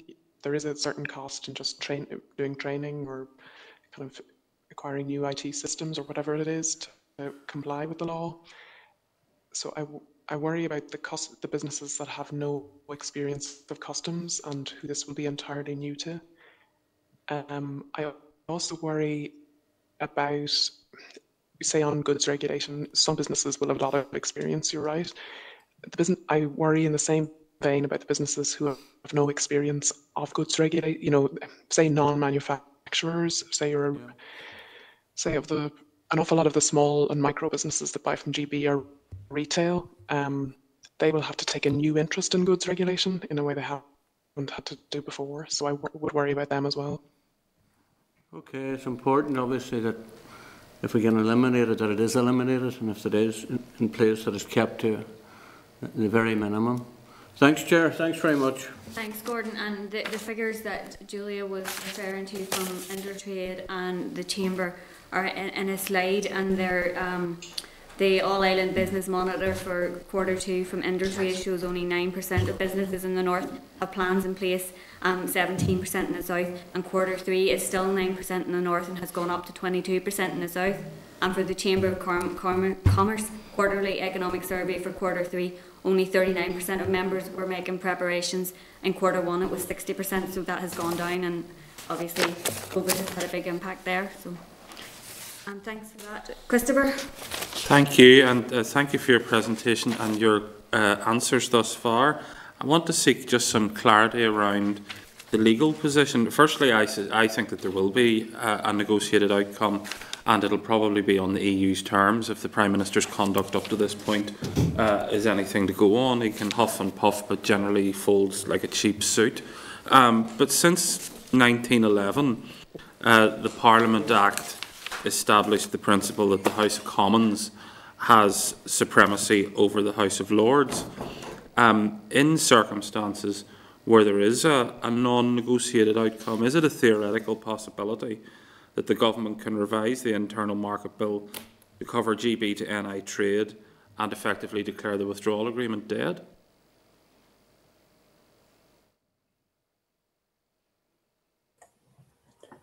Um, Well, I, well, uh, presumably it's. Yeah. Sorry? Your connection's Sorry, I bad don't know, there. I um, can't really answer hear you. either, but um, um, sorry, I, I think the legal implications you would also need to consider the international um, legal implications in terms of whatever um, uh, the process around kind of um, resolving disputes around the withdrawal agreement, which would be separate to the kind of the lack of a future relationship or a free trade agreement. Yeah. Although I think um, even uh, Mr. Europe, Julian Maughan himself, accepts that um, parliamentary sovereignty trumps international Trump. There's that word. Trumps um, international law um, in these in these matters. Um, I'm just curious that you know I, I understand sometimes the outcome of a negotiation is no. One side just says no, and I'm just curious in terms of uh, how we then respond to that and where Northern Ireland's place is in that. So if the government was, for example, in a position where there was a non-negotiated outcome and simply refused to operate uh, EU VAT rules in Northern Ireland, um, what would the implications be beyond, um, you know, this, this quite nebulous concept that we would be in breach of international law? Um, I, I, suppose we're, we're, we're, we're into complex legal territory way, way, way, way beyond the Department for the Economy. Um, Fair enough. um, to, to, to, to, be to be fair, um, and uh, I, I'm not sure um, uh, if if any of the four of us um, are sort of legally trained to anything like that level to offer, um, you know, um, you know, a, a competent response and to a question of that nature. That's fair enough. Um, I worked in I worked in a press office for five years, so I understand that when there's a prevailing media narrative, um, it's difficult to get messages through. Uh, before COVID, the prevailing, the dominant issue in the press was Brexit. Then, for the rest of the year, it has been COVID, punctuated only for a few weeks by the, the presidential election in the United States. I'm just wondering, in terms of as we run towards the end of this period, has there been like a, a budget line established in the department for increased advertising? And I mean, the chair in her opening remarks referred to the radio advertisements and stuff, and I also have noticed that taking place. But if we're um, getting to a situation where um, potentially a no deal outcome, um, and therefore we have to react quickly to that. I'm just wondering, um, has there been a budget line established for communications in that regard? Um, we, we, we may need to go back and, uh, and check that level of detail. Certainly, In- Invest NI would have uh, um, um, communications budgets Yes. um, uh, uh, uh, al- al- already, and they, they are often one of our, our, our key um, um, means and channels for um, getting comms to business. Also, there is, uh, in terms of departments, departments would often use the um, um, Executive Information Service that sits within the Executive Office. Yes. And um, uh, I think would probably need to be confirmed, but I but I would suspect that budgets for executive communications uh, activities would, would probably sit within TEO. Um, but I, I think I, I- I would need to sort of double check whether that's the case and uh, gauge the extent of those. From, from memory, I think uh, EIS has 48 press officers. So um, we certainly, it's not for the want of manpower that we can't be communicating with people. But no, that's grand. Thank you very much. Just, just in relation to the EIS press officers, as I understand it, um, uh, and again, we may need to double check this, the, the press officers from all the departments are all EIS uh, press officers. So that, that may not just be the, the, the, the, the, the, the central team within TEO, that may be the team as spread across all departments. Thank you. Um, thank you all very much for your presentation. Um, obviously, I'm sure we'll be seeing you again probably before the end of the year, um, and hopefully we'll, we'll see some some progress in terms of the negotiations before then, um, because there's a lot obviously for businesses to have to try and prepare for. Um, there's a few things that we'll probably want to follow up on. Yeah, Chair, we, Um, we've, I've noted a number of bits of information that we're going to go back on. Um, and also the questions around common frameworks, we'll Oh, send yes. those on. So, um, as I had mentioned in, in the, the kind of introduction to the session, we had a, a session from the EU Affairs Manager yesterday around the common frameworks. Um, so we have some questions, but we'll um, pass those on to you just um, through through the, the department through the DALO. Okay, Thank you. Thank you very much. thank you. Thanks very much now. Okay. Um, Shane's so. laptop sorted out. Per Shane, I mean, the camera thing. so, Um, I think it's the last person on though, because invariably whenever I was coming on, maybe Could be a bandwidth issue. bandwidth issue, issue. it would need to Oh, prioritise the, the Yeah. video over the over the audio. Talk to, I'll maybe talk to Combs about that, Chair. When we seem to have more than four or five people on, It does one seem that does that's the first out. thing that goes is they drop picture and you just get signed, yeah. okay. So Peter, we were going to follow up then and, and write to the to TEO around the communication piece. Yes, Chair. Um, as as the discussion sort of revealed, um, there are radio adverts going on pretty much constantly about the, the Trader Support Service. I'm sure everybody's heard those kind of when they're in the car and so on.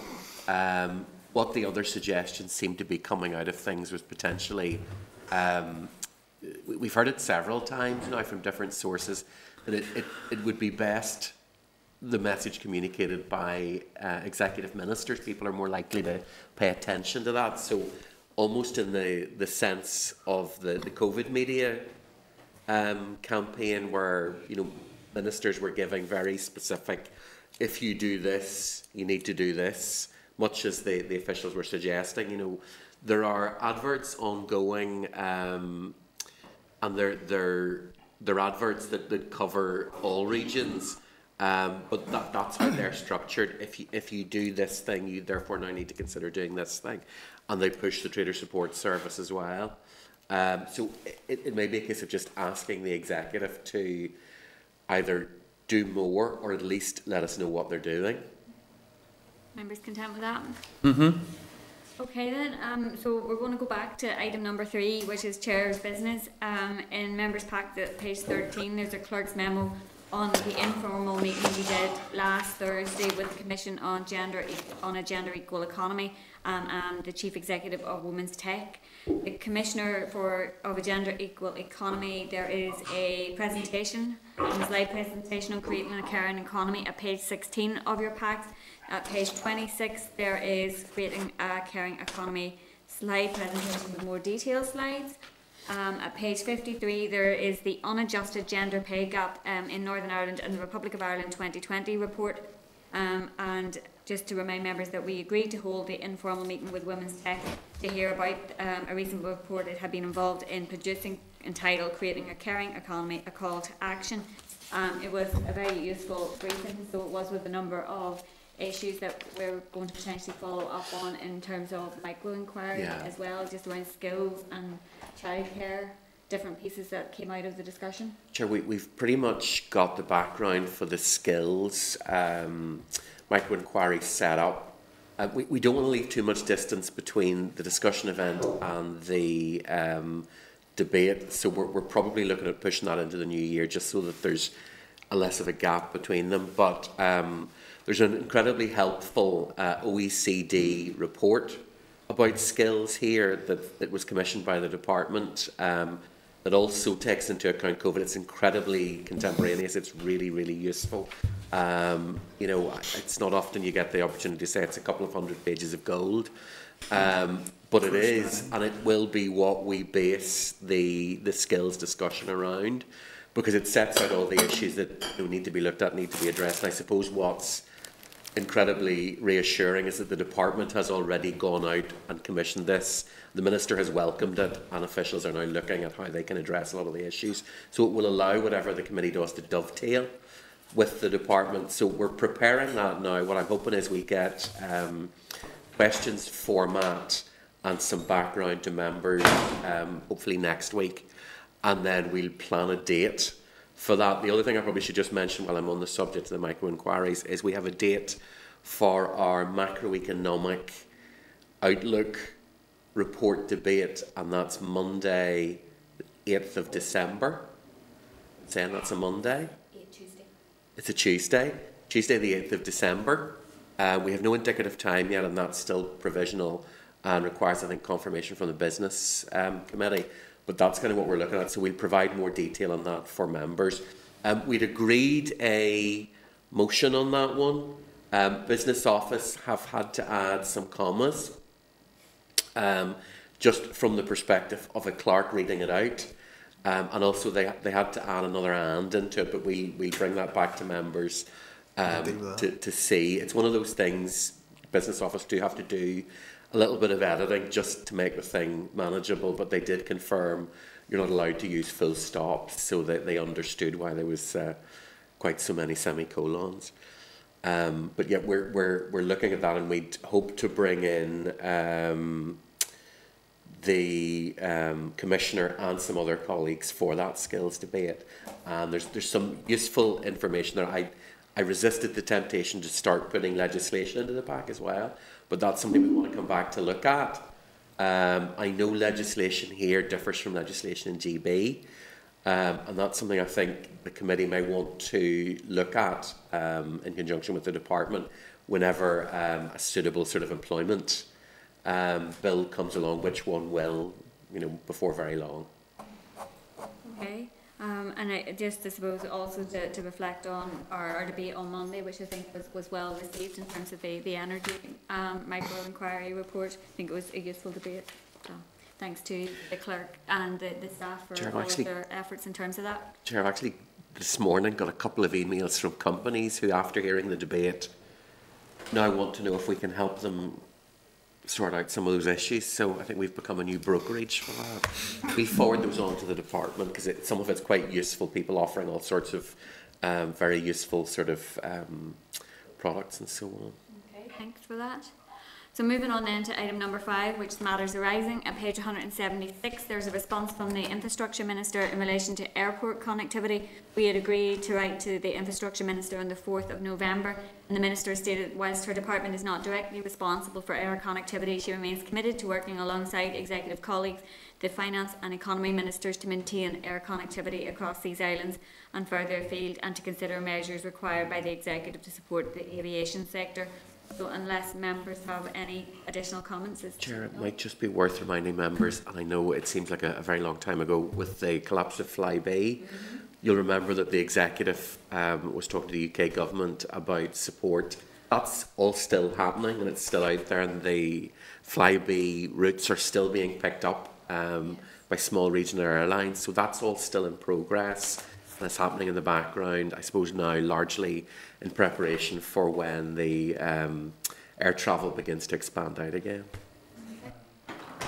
Uh, Chair, I think on that front, it might be useful just to get a brief from our local airports just on the routes that still haven't been covered. Yeah. Certainly noticed recently Belfast City Airport, um, Aer Lingus, or at least one of their subsi- subsidiaries, has essentially picked up most of the former Flybe routes, but it would be useful just to see what where the gaps are. We do. problem. Okay, then moving on to um, 5.2, there's correspondence from the FE Principals Group in relation to the awarding of qualifications and next steps. Um, so, unless members have any additional comments to make on that. Sure. Yeah, John, go ahead. Uh, can I come on just on the letter from the FE colleges and principals?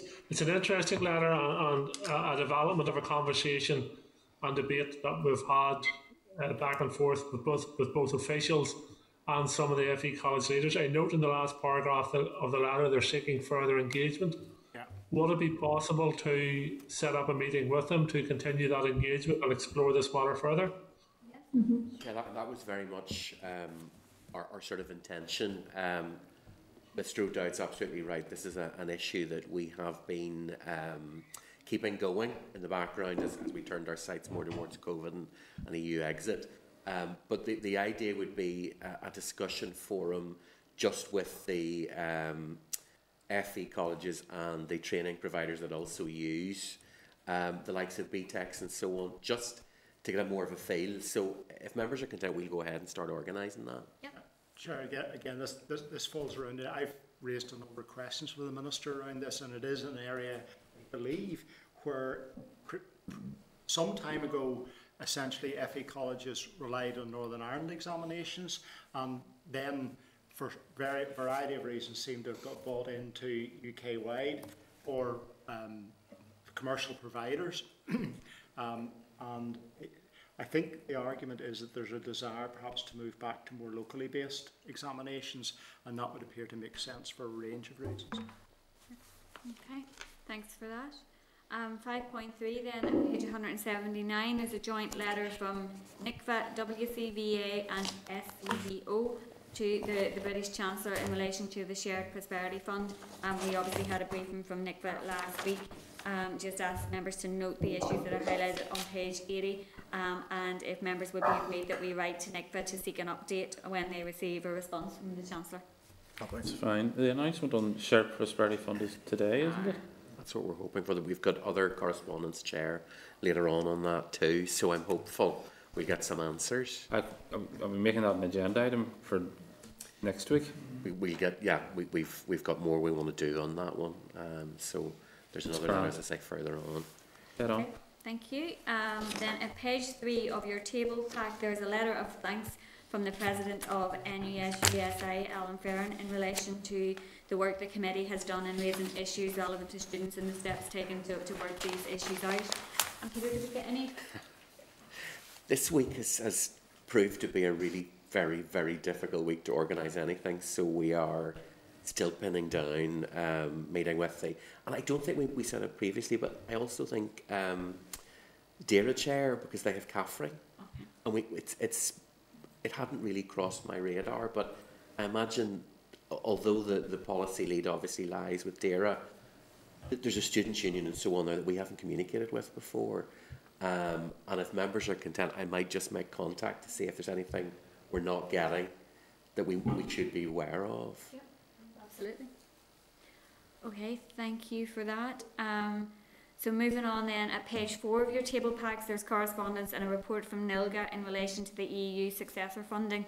Um, the committee obviously has received previous briefings from NILGA, one on the 21st of October, um, about the role of local government in tourism strategies.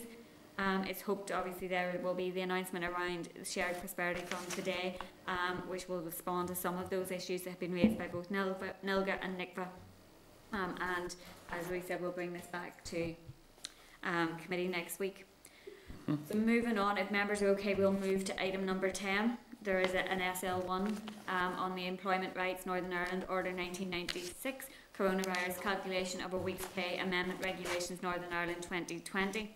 Um, There is a clerk's memo at page 43 of table papers. There is correspondence from the DALO at page 45 of table papers. The department proposes to make an ASR under powers conferred by Article 24 of the Employment Rights NI Order 1996. The purpose of the statutory rule is to continue to provide greater certainty in the calculation of a week's pay and to ensure that furloughed employees do not lose out as regards certain statutory entitlements when, um, which relate to the termination of employment by having been furloughed if their employment is terminated while or shortly after they've been um, furloughed under the job retention scheme.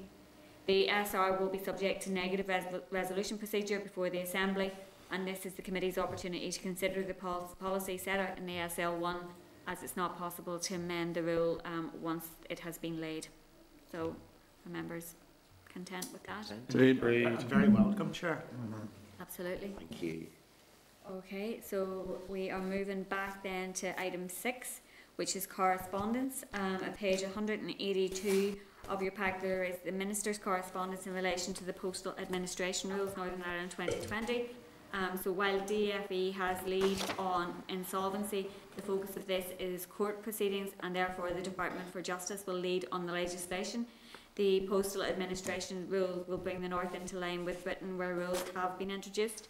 They set out procedures for the postal administration processes under the Postal Services Act 2011 and are designed to ensure the continuance of the universal postal system service in the event that a company providing that service is at risk of entering insolvency proceedings.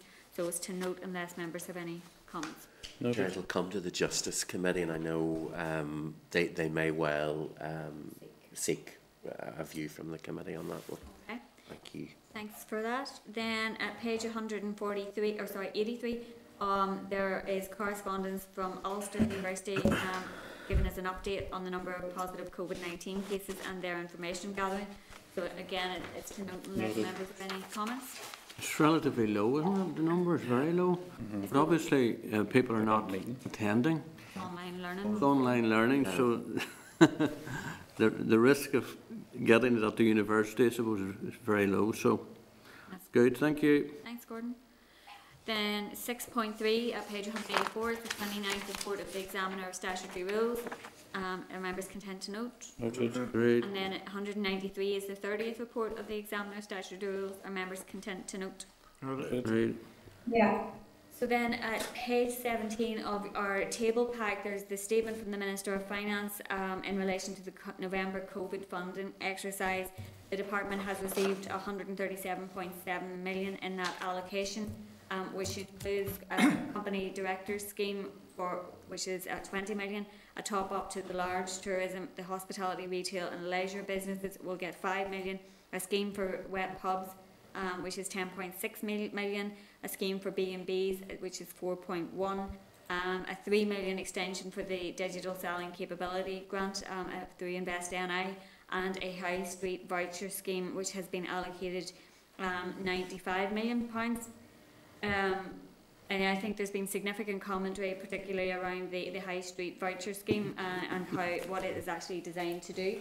Um, and I think it, it would be useful to get um, some further information around that. We are going to seek um, some information from both Jersey and Malta, where similar schemes like this have been rolled out, um, and apparently both the governments in those countries have um, indicated that they're repeating their exercises of schemes because they, they um, were successful. Chair, Jersey's was a, a chargeable card, um, much like what's been suggested here.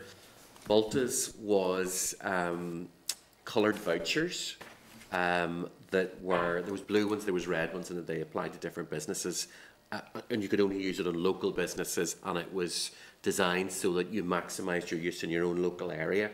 With the Jersey one, um, the card can be limited to the sorts of places it can be used.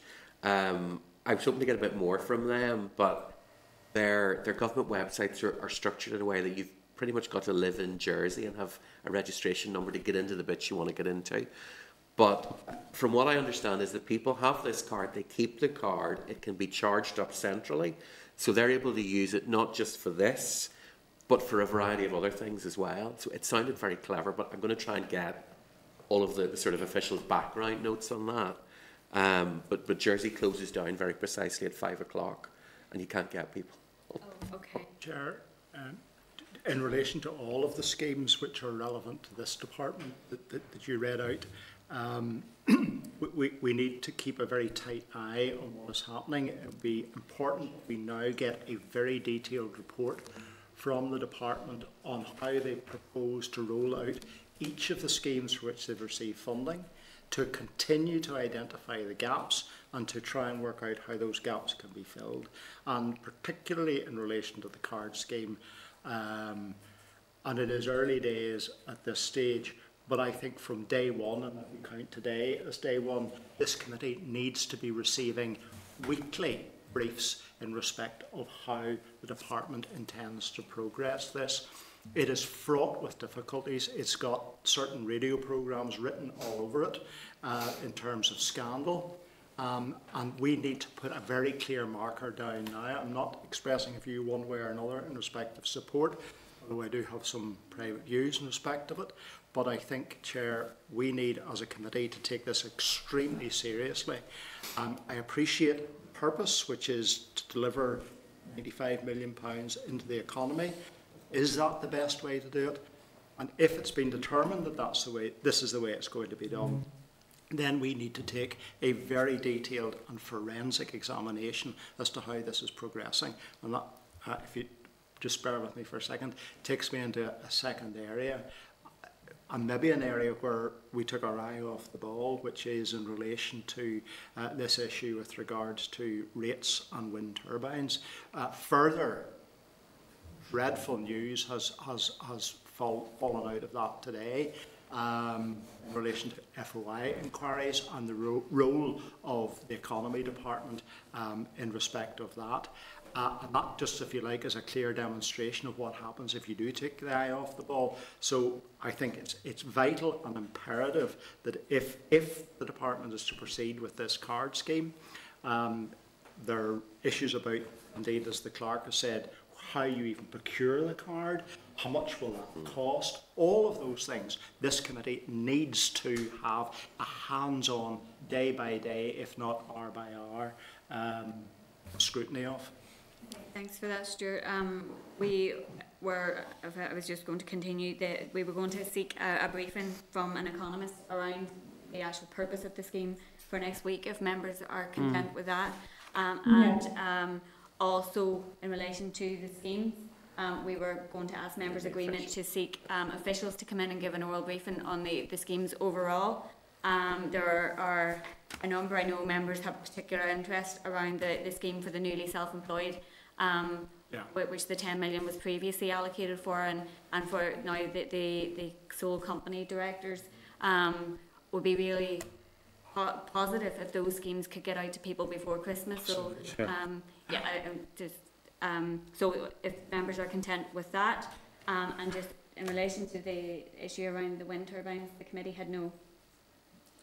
Uh, Chair, I've, I've uh, I, in a conversation I was having on another issue with the, the audit office, um, they are looking at that, obviously, and um, it's something we just never have sight of. That, that was, I guess, part of the, the automated process, um, but it is something I know there'll be a lot more information on. Chair, there, there are now substantial FOI uh, answers in the public domain, and they are clearly of interest to this committee because there are detailed conversations between civil servants.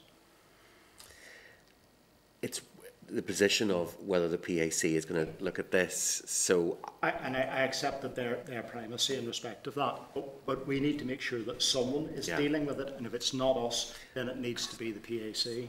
I So fortunately share an office with the PAC that, clerk, so we, we talk about that um, and see where we are with that. Chair, just to come in. Sorry, oh, no, sorry. um, there is Christopher and then Oh, sorry. Gordon and then. No, that's fine. Thank first, you. so- Yes, thank you, Chair. Um, when this statement was delivered in the House, um, I asked, I beg pardon, it was at economy questions, I asked the Minister how much she had asked for from the Department for Finance in terms of this allocation. Now, she's been allocated 137 million for the department, my understand, her answer to me was that her ask was considerably more than 300 million. I have heard a figure of 390 million of an ask.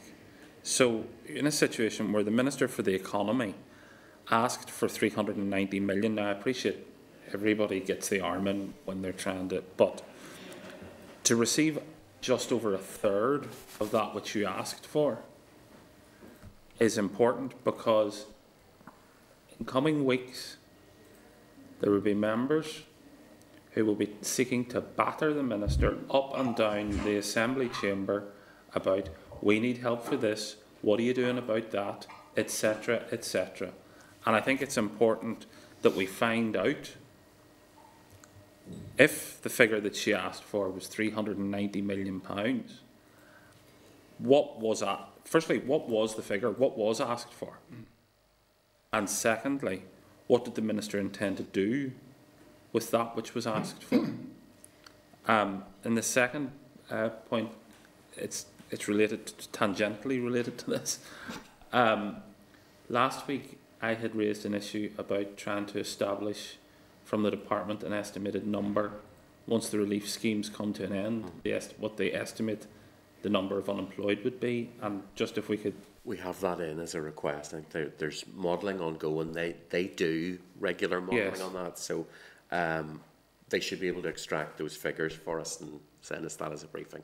But that request has gone in. But I think it, it would be useful to know what was asked for, what was the intention in terms of what the minister intended to do, because um, I think it is important that we that we're equipped with that information. Yeah, no, I, I agree with um, Christopher on that point. I think it would be useful if we could get a breakdown of that in relation to similar to what we get from monitoring amounts. And there was a prioritisation of the bits that were made by the different department. Um, and just, I suppose, it, it would maybe be useful to mention that we had hoped to get the minister in um, to discuss these issues. Um, Peter, do you want to give us an update in relation to Chair, that? we, we have the minister scheduled for the 16th. Uh, we did ask for the minister. Um, the response was that the minister wouldn't be available um, and would be more in a position on the 16th to be able to talk at length uh, about the fallout from all the schemes, how the schemes will work, and so on. We've already agreed to bring up officials next week and get the economist in about the voucher scheme. So it'll be a case, I suppose, of from that information where members want to go. Um, I think it's useful to get the technical side. Members will recall we, we got a really very good briefing on bids. Previously, it was September. Uh, the document was very clear, was very useful. If we could get something the same as that, that would be really, really good. Um, and get the officials that can talk through it as well. Because it's so much better to get those questions answered Yes. at the time. So if members are content, that's kind of how we'd approach that. Um, and then we can we can sort of look again if we want to bring the minister in again before the 16th. Um, I think to be fair, if you're if you're putting schemes like this together in a matter of days, I think if she comes in on the sixteenth, you know, at least it'll have been rolled out for two and a half weeks. So I think that's fair enough. I think, if, Chair, if we have the officials next week to at least give parameters, rationale, and so on, um, and, and the process, because I think that's going to be one of the key things is, is the process of getting the money out the door. But also, it would be um, wrong of me to not also flag up the, the balance of that being um, the, the faster scheme is organised, the faster we put a system in place, if it's not an already an established system, and even if it is, there's always the potential for error um, and an ineligible payment. So I just want to just put that on the table. Um, speed will incur error Yes. and we just need to be very clear that we, you know, we're, we're aware of that and we'll, we'll work with that. Um, but we, we'll proceed and try and get that organised for next week. The, the bids paper, there should be a bids paper there, um, and there was no issue having it before. So I'm, I'm going to go into that with an optimistic view. Yeah, and obviously there is significant public interest in these issues, and, and so the minister should address them as, as well. Um, Peter, just in relation to the schemes that are ongoing, could Yes. we get an urgent um, response in terms to what has been paid out so far, um, in relation to particularly Part A, but how is Yeah. Part B going? Yeah. Yeah. Um, and a time frame for when it is expected that the newly self-employed will come on stream because that one has been Promised. yeah, for a few weeks now. Yeah. Right, are members happy enough with that? Yeah, Sorry, Gordon, you were Gordon is- yeah, no, just, yeah, similar points, Chair, I suppose. I'll rattle through a couple of specifics so on, but on the wind energy, I think, you know, this has gone on for so many years uh, within this committee. And we- we do wonder about the capability and the um, ability to deliver on, on such schemes. Think they need looked at and reviewed. But we want transparency and we want accountability on, on these issues. And any loopholes that exist and have been identified in schemes need to be closed out.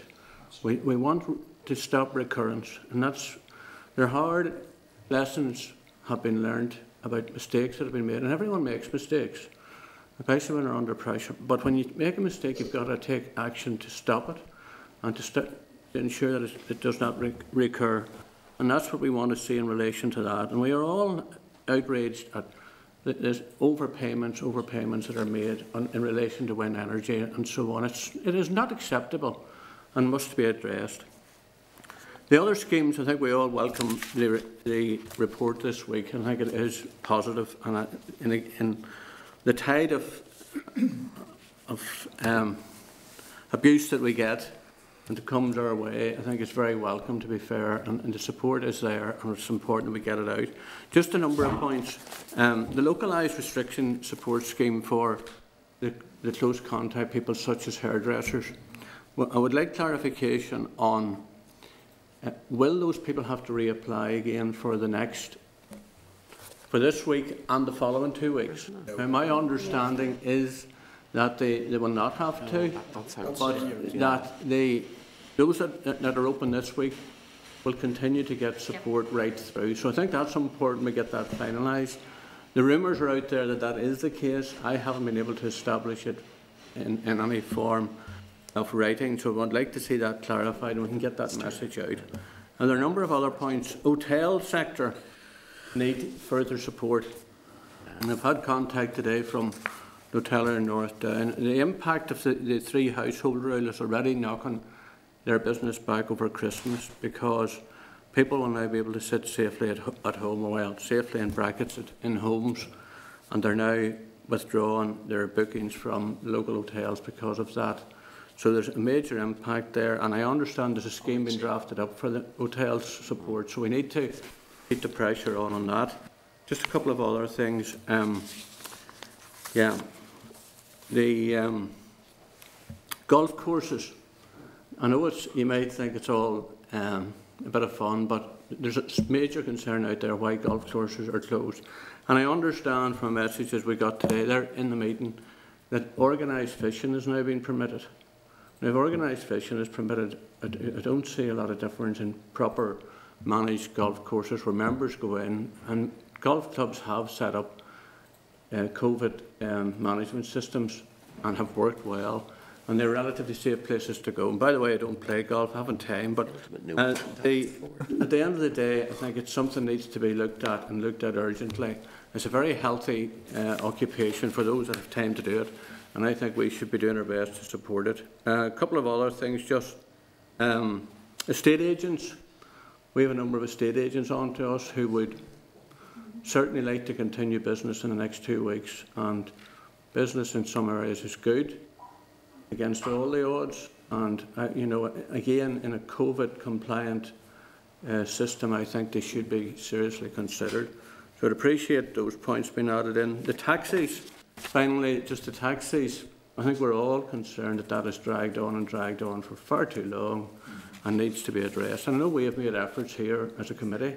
We've lobbied strongly and hard on it, but uh, I find it most disappointing that we haven't seen movement on the taxi situation. Thanks, Chair, for your tolerance. Um, thank you, Gordon. Um, Peter, perhaps we could write about the uh, golf. course. Yeah, because it, I suppose it is the ultimate non-contact sport, isn't it? You know, there's there's really no contact there, and you're outside. So I'm not on. I don't totally understand that one, but we'll we'll put that through to. to, to Good to man, vote. thank you. Sorry, Chair. Oh, Are we seeking clarity on that point in, in relation to golf courses, or what exactly are we seeking? Clarity whether or not they can and, and what, what the reasoning is on that. Um, Okay. Because if fly, sorry, was it you, Mr Dunne, what was the sort of fishing that you talked about? What's that, sorry? You'd said, you'd indicated there was fisher, particular type of fishing. was Yes, it? yeah, sports fishing or, you know, fishing, so organised fishing It's just, it's the clarity of comparability, yeah. I guess. They've got that now for, you know, fishing clubs that go to lakes and reservoirs and so on. That has now been approved by DAERA. Okay. Thanks for that, Gordon. And I suppose just on your point about the support, the click and collect as well, that has now been announced. Yes. That for non-essential retail, they will still be able to get the financial support even if they do the collect Yes. and collect. So that has been Good. confirmed as well. Chair, can, So, sorry. sorry, there's John Stewart Everyone then wants in, yourself. Be patient. um, thanks, Chair. Um, just to follow up on a couple of Gordon's points, I've got a number here. Um, my understanding, Gordon, and hopefully the, uh, we'll get clear on this, is that stage agents ha can continue to, to be open. I think And that as long as they yeah. work, work within the current parameters, they're allowed to. Um, so that is good news. That's certainly the advice that I've been passing on to the stage agents in my constituency who've been contacting me. Um, with the golf courses, I totally agree because in the winter time as well, it's there's probably a, a fifth of actual people playing compared to the summertime, and they're able to continue the summertime. So with the winter season is actually a lot more limited in terms of the numbers taking place, and it is it is as um, as open as you can get in, the, in those spaces. Um, and I had the clarity this week. The only bit of clarity I've had, I have to say, from LPS and Invest NI is that those will automatically be paid to those who are entitled to the grant who've already applied. The problem is, Chair, that we're still I'm sure we're all the same, getting inundated with constituents who own businesses that applied over five weeks ago for either the LRSS scheme or the Invest NI scheme from the Department of Economy, who cannot get their money, who cannot get any updates, and then after they do get an email after five weeks, it says something like, please provide an accountant's letter. And these are um, ladies or young men who, who rent chairs and salons who don't have accountants. They are people who have never needed accountants. They are driving instructors who have all the credentials you could possibly need through the Department of Infrastructure to validate their credibility and are still being asked for accountants letters. What on earth do these people have to do to get their money? It is despicable. We're now in the mouth of Christmas. It's a cliche to say it, but we quite frankly are. And they have no faith. And when they hear these announcements, which are great, and I, the prepaid card I think will be what could well be an, a fantastic scheme to stimulise the economy, economy. But given that January, when we're talking about rolling out, six weeks away from now, it's taken five weeks for people to get an email to say that their application is being processed. I mean, um, on the director's thing, it's great, long overdue. But again, I agree with you. Get get by Christmas. There's a ready-made portal. The the hardship grant portal is there. But again, we're four weeks from Christmas. Yep. So I just, we need to do all we can. I want to say, I mean, people, whatever has to be done, around the clock working the processes. I mean, another girl just emailed me while we're in this meeting to say she just received an email five weeks after applying for the scheme to say she needs an accountant's letter. Five weeks. She says she doesn't have an accountant. She's nearly in tears. I mean, this is just cannot go on. And there is no place to get any answers. I have taken it, I've probably all done it. Ian Snowden has been fantastic, mm. but it shouldn't be down to the chief executive of LPS to go back to each individual MLA to get an update. There's no helpline. There's no one to go to. And they're just crying out for help. And I just fear that a lot of these are going to be delayed or overlooked. Um, again, someone's contacted me here this morning to say he's a, he's a, um, he's been told he can't get the grant because they're using Google and other search engines to verify whether his business exists rather than using the information he's provided. You know, there's no appeal mechanism. There's no one to speak to. We just need to get all this through. And if we get, if we're given someone to talk to, we could get these answers for people. But I really feel for them because it's just not acceptable.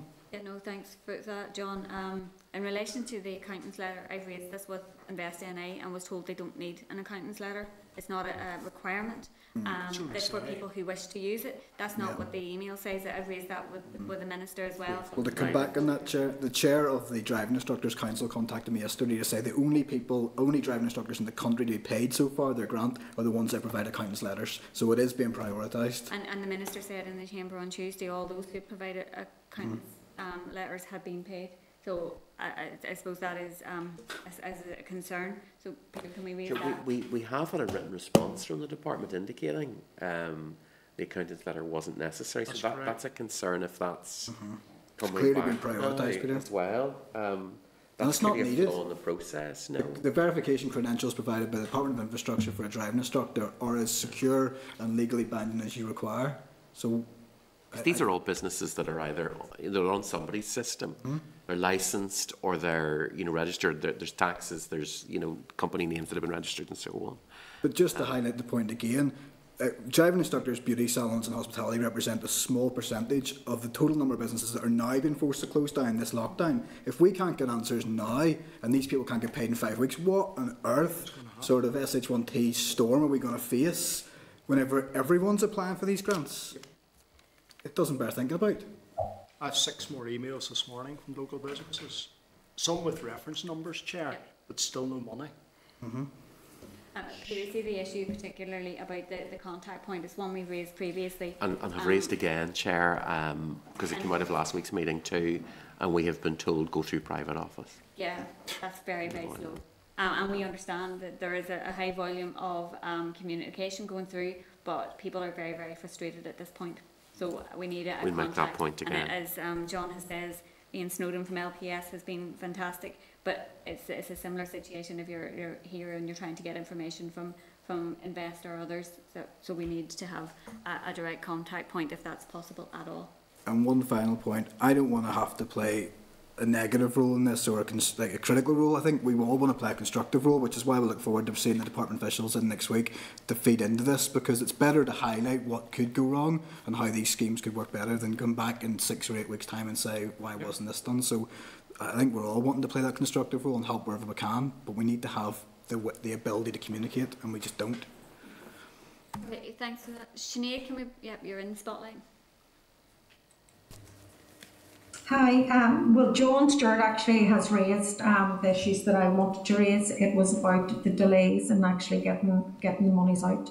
Uh, and uh, as I say, Derry's two weeks ahead. So we're, some of our businesses are now seven weeks without money.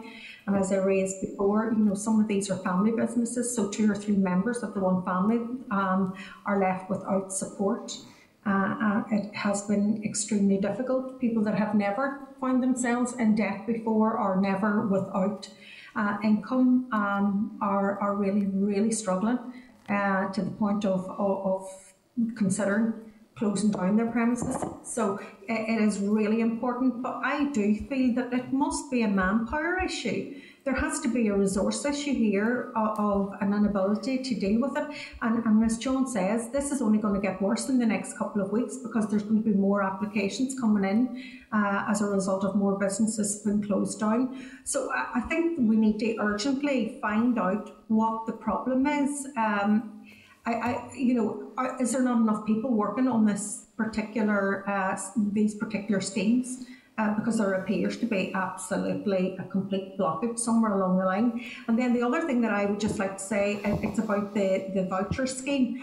Um, I, I don't know enough about it, but and, and my the jury's out about how effective it's going to be, and we'll wait until the economist comes in and gives us an idea next week. But there's been a lot of mixed messaging around it. Uh, the minister on Monday indicated that it was going to be a payment per household of uh, in the region of two hundred pounds, and then um, yesterday we, we we learned through the media it could be a fifty pound voucher per person.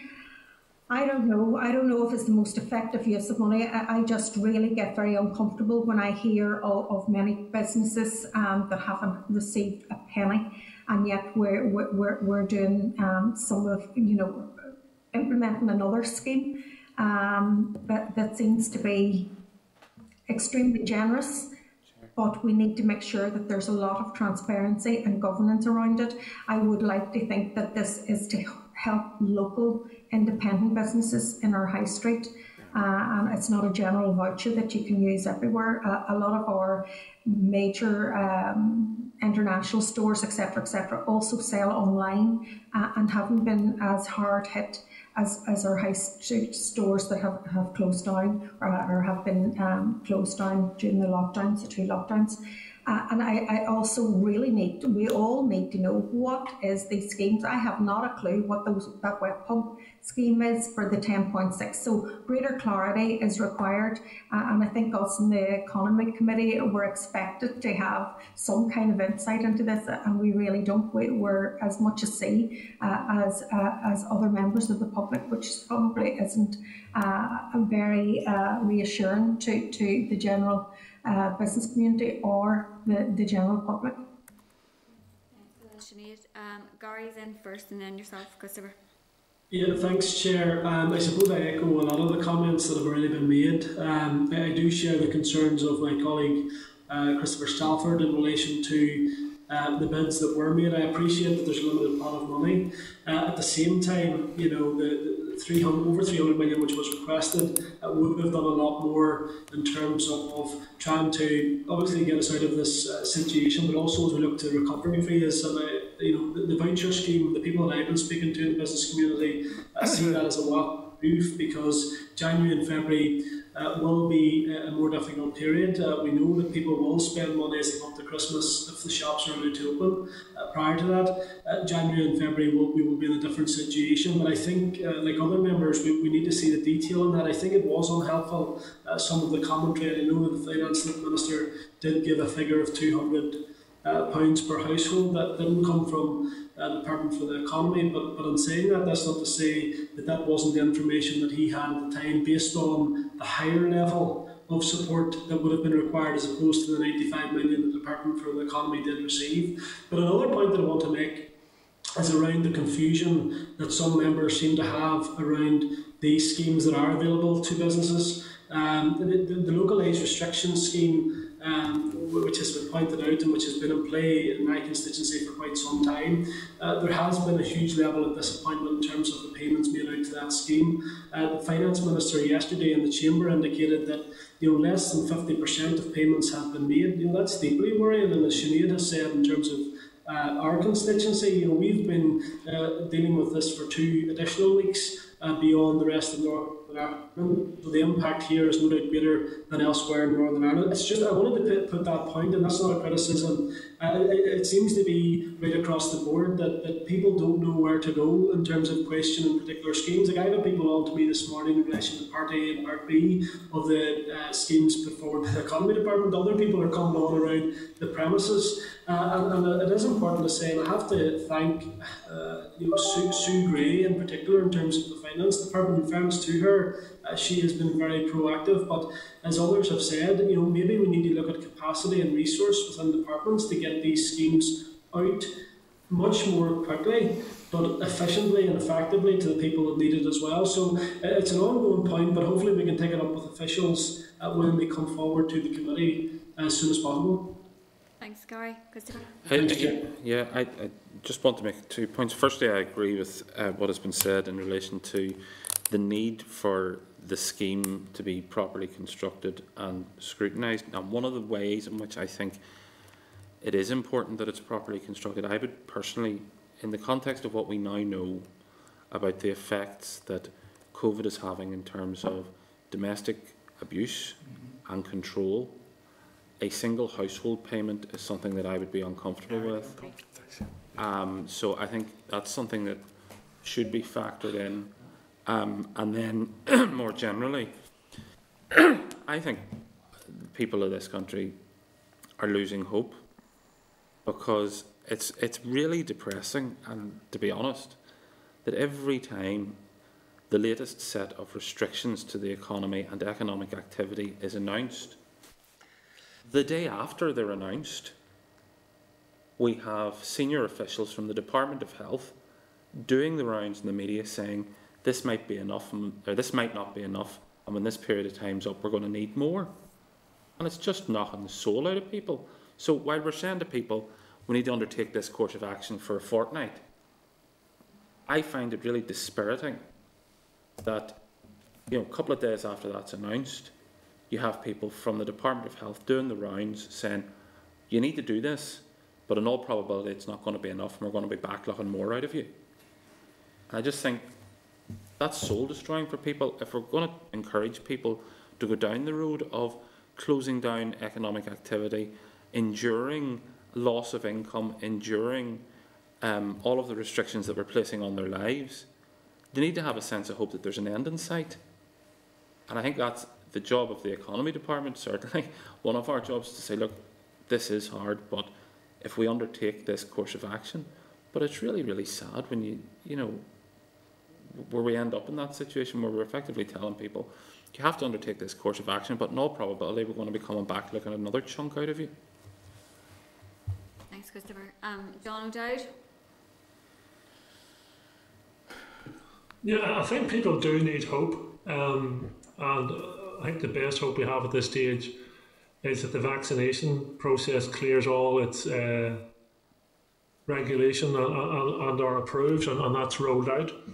But one of the things I think, and, and businesses businesses who have, who have had to close have been saying to me, is when they look at the large supermarket chains, uh, many of whom are going to probably register an increased profit uh, for this year that they're not taking any action in relation to the encouragement of or the enforcement of social distancing, the wearing of face masks, the provision of hand sanitizers, etc. And I think there is a moral obligation, if nothing else, on the large supermarket chains to set the lead in this because they have been allowed to open. The customers have been going to them because other smaller shops uh, and businesses have been closed uh, where they could be playing the part. Now, I do note, and I have seen it myself, where some shops are now providing COVID safety marshals, uh, and you can see them blazoned on their t-shirts, and they're standing at the door of the shops and they're engaging with customers and they're talking to customers.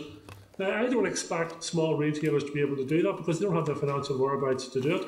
But I do expect large supermarket chains and large retailers be able to do it and play their part because they have been able to open, they have been able to continue to make money while other businesses have been closed.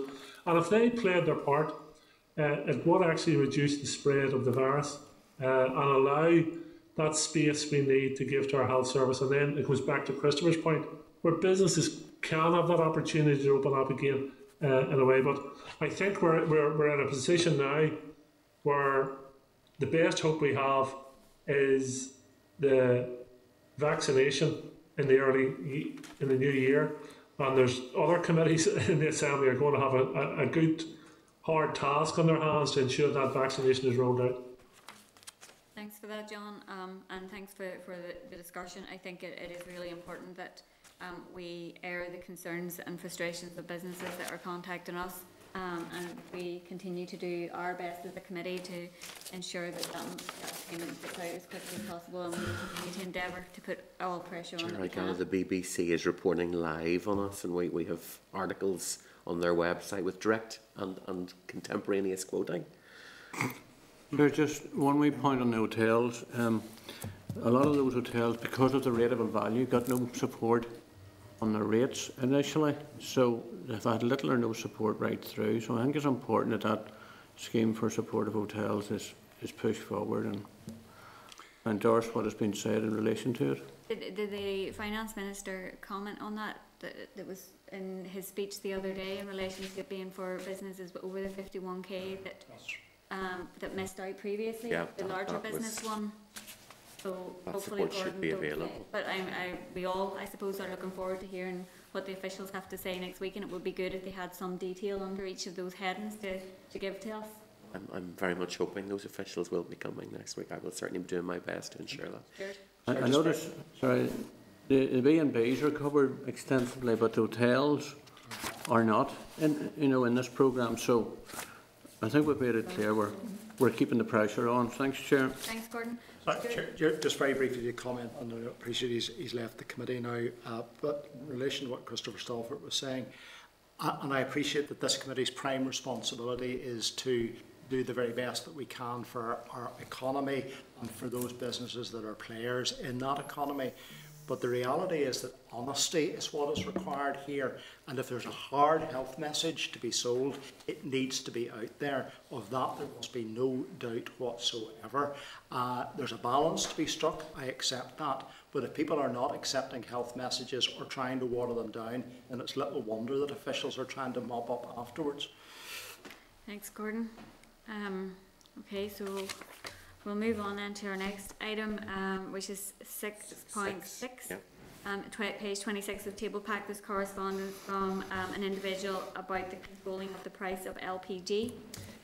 Chair, this, this is a, a correspondent we've had previously, and, and we, we did do the research, and, and there, there is no control. Obviously, it's outside the committee's remit to, to launch any investigation into um, price and so on.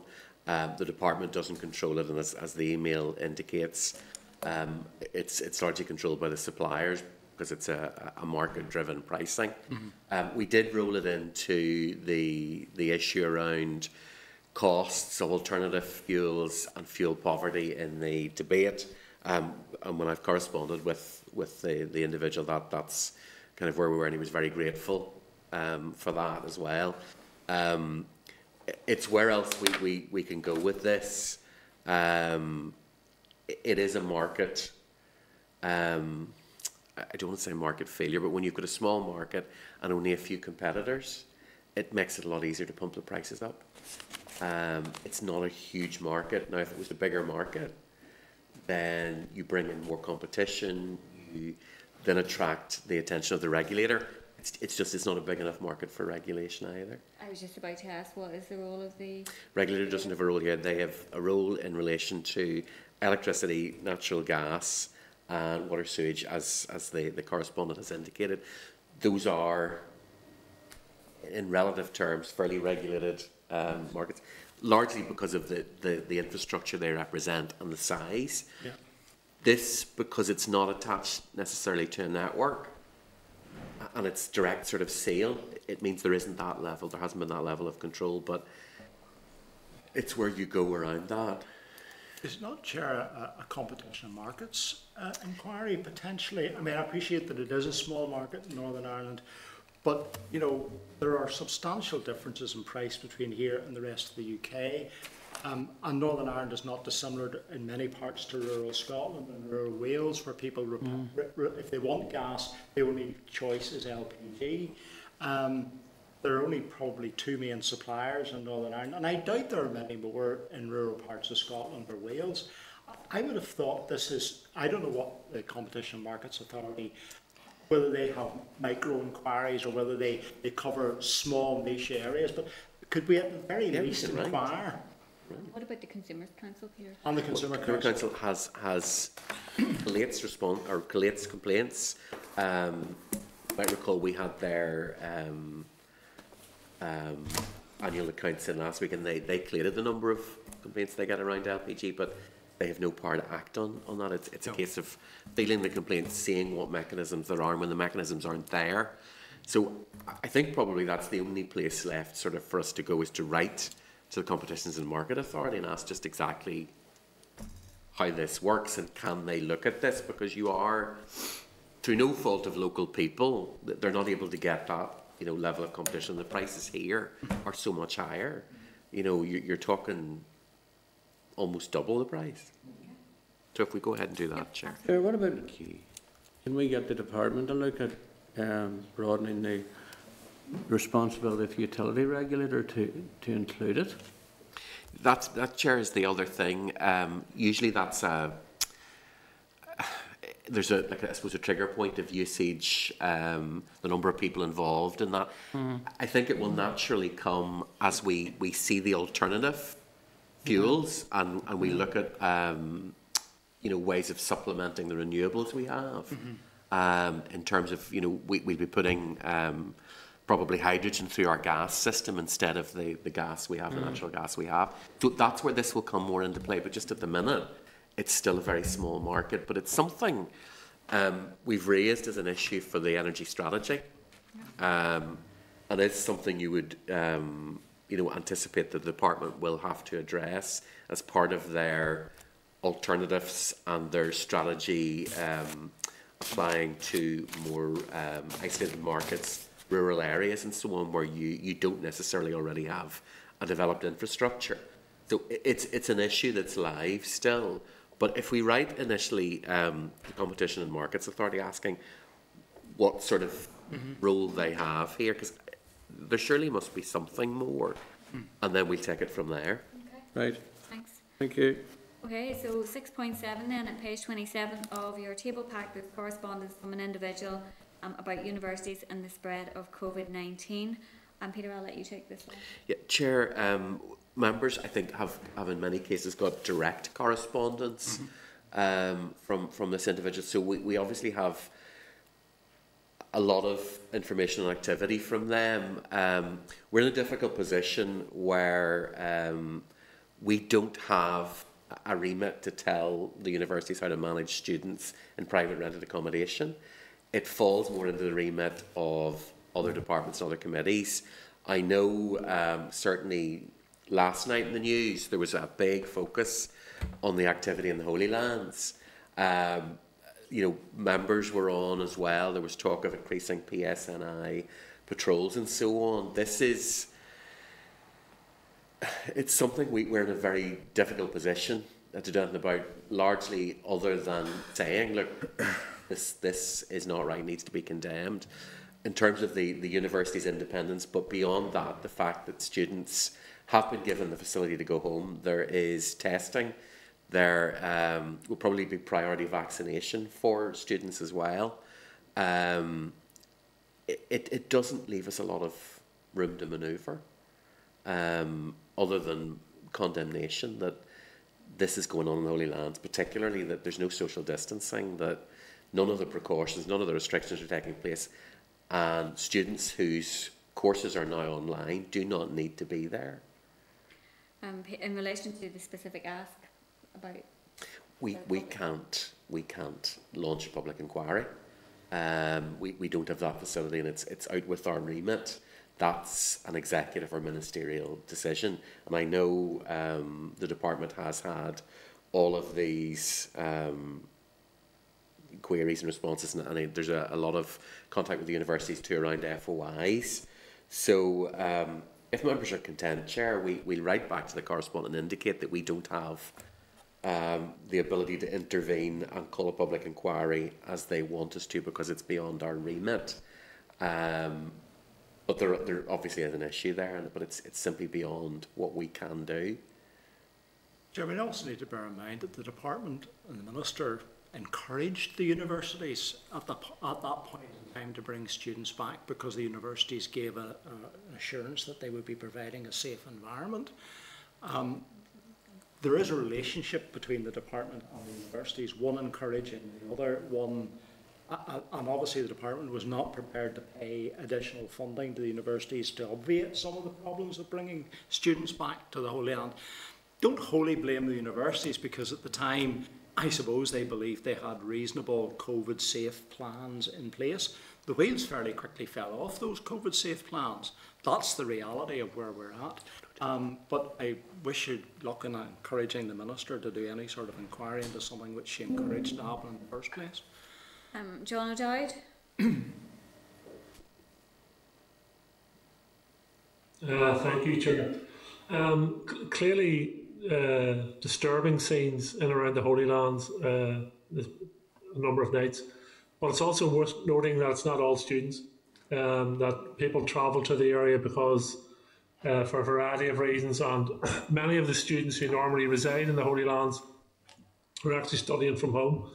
Uh, so while clearly there is students involved, there's also other walks of life involved as well. So I'm always a bit concerned when uh, students the tag is put on an event because it is students. And in fairness, there's also a wide range in age groups of students, yeah. uh, some of whom whose partying days are long behind them. so we can't just use that brand in terms of students. But we did, uh, I'm wondering, is there any word back from the department? We we raised the issues last week following a town hall event organised by the Students' Union where there were some harrowing stories of the experience of students over this last period of time. Uh, I'm just wondering, is there any response back from the department to the issues we'd raised uh, last week? Not as yet. We're hoping once we get the chairs together, we'll be able to do more of a collective, um, take the collective, take the issue up collectively with the executive.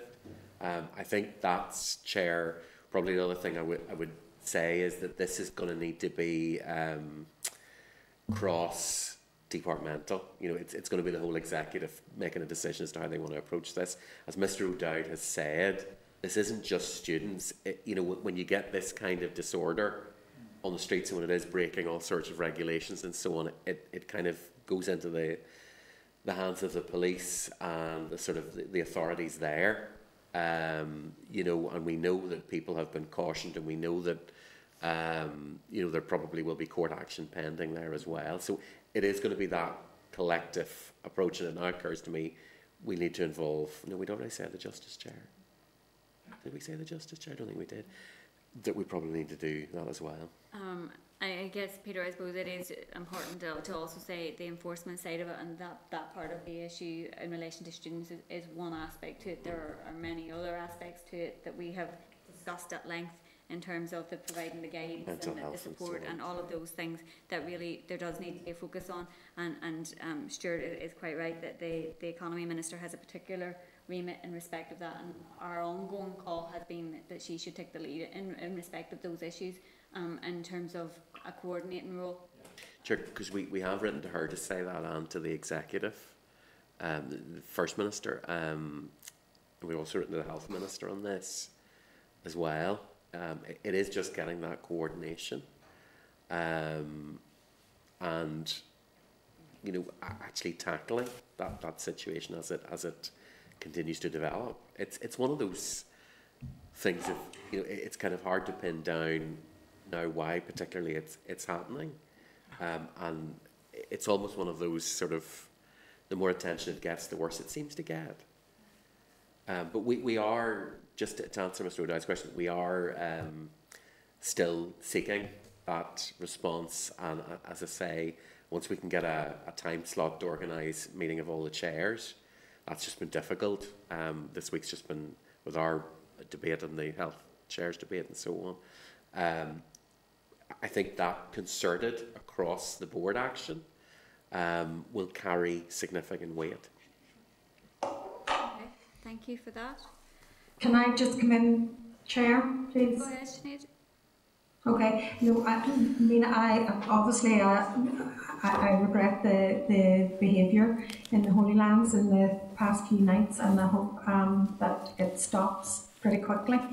Um, as it will have an impact on people's health because if, if students are involved and it's not all, all students um, as John said but these students more than likely are going home now in the next few days uh, uh, and that will have an impact on their families as well. But also, just I, I'm really concerned about the welfare of students, and um, you know they've been sold a pup, uh, and their, their university experience is way below par in what they were told it would be. Uh, back in August and September. So we have to be mindful of that as well. And I think just uh, we need to keep on pushing um, the, the, the head so that it, it, this is an all government and all department uh, reaction to find solutions as well. But certainly, um, our, the Minister of the Economy should take lead responsibility. It is in her portfolio um, for higher education, and we need to make sure that you know going forward that the second semesters come along pretty pretty quickly. We don't want a repeat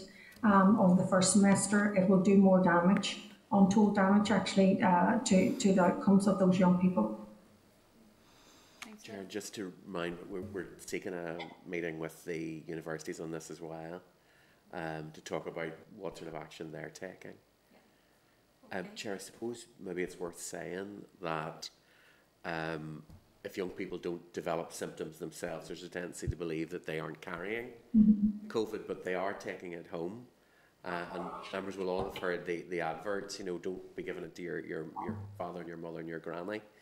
But I- I think that's part of the issue is those who aren't symptomatic don't think that they're ill or don't think that they can be carrying the illness, which we- we're now aware is patently untrue. Okay then, um, so moving on to six point eight, at page thirty-seven of table pack, there's correspondence from an individual um, about being excluded from, um, the exclusion of directors from government support. Um, obviously, as we now know, the executive has agreed the twenty million pound measure to help directors who were previously excluded. So um, if members are agreed, we will respond to the individual and see if the scheme announced will, will help them. Probably this is the same one as we, I received, the same correspondence what other members have, just within this week. yeah. I think it might have been copied around as well. Yeah, it probably is the same one, but yeah. Thanks, Chair. Thanks, Gordon. Um, item number seven then on your agendas is the Forward Work Programme, which is at page 39 of your table papers. Are, are members um, content with that, in mind that we have already added some? Uh, it, it's, it's, it'll, it'll change and evolve, Chair, and we'll bring it back next week. Okay. Um, and just uh, then, um, I have one item of any other business. It's just in relation to the apprenticeship recovery um, strategy. Obviously, there was significant amount of money put towards um, retaining and recruiting apprentices for this academic year and, and subsequently.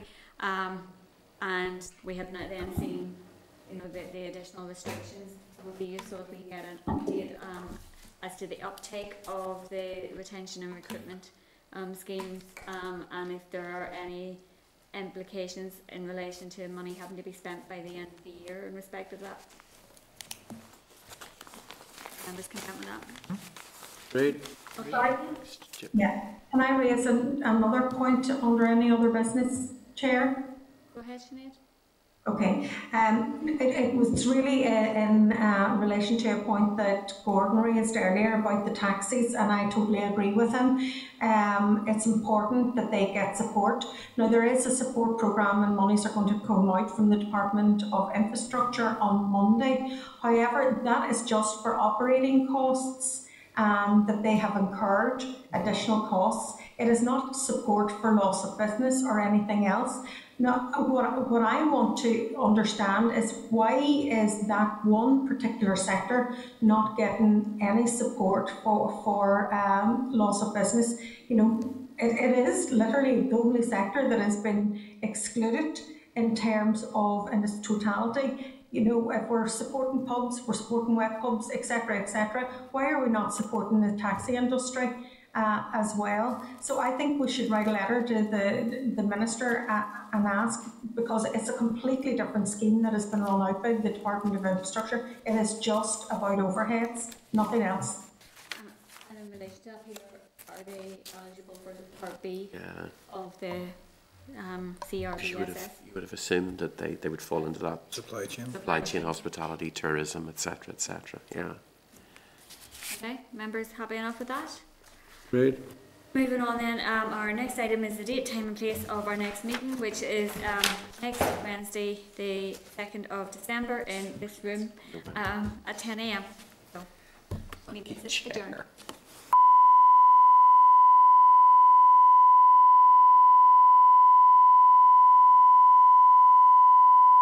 This is the Northern Ireland Assembly Committee Room 30.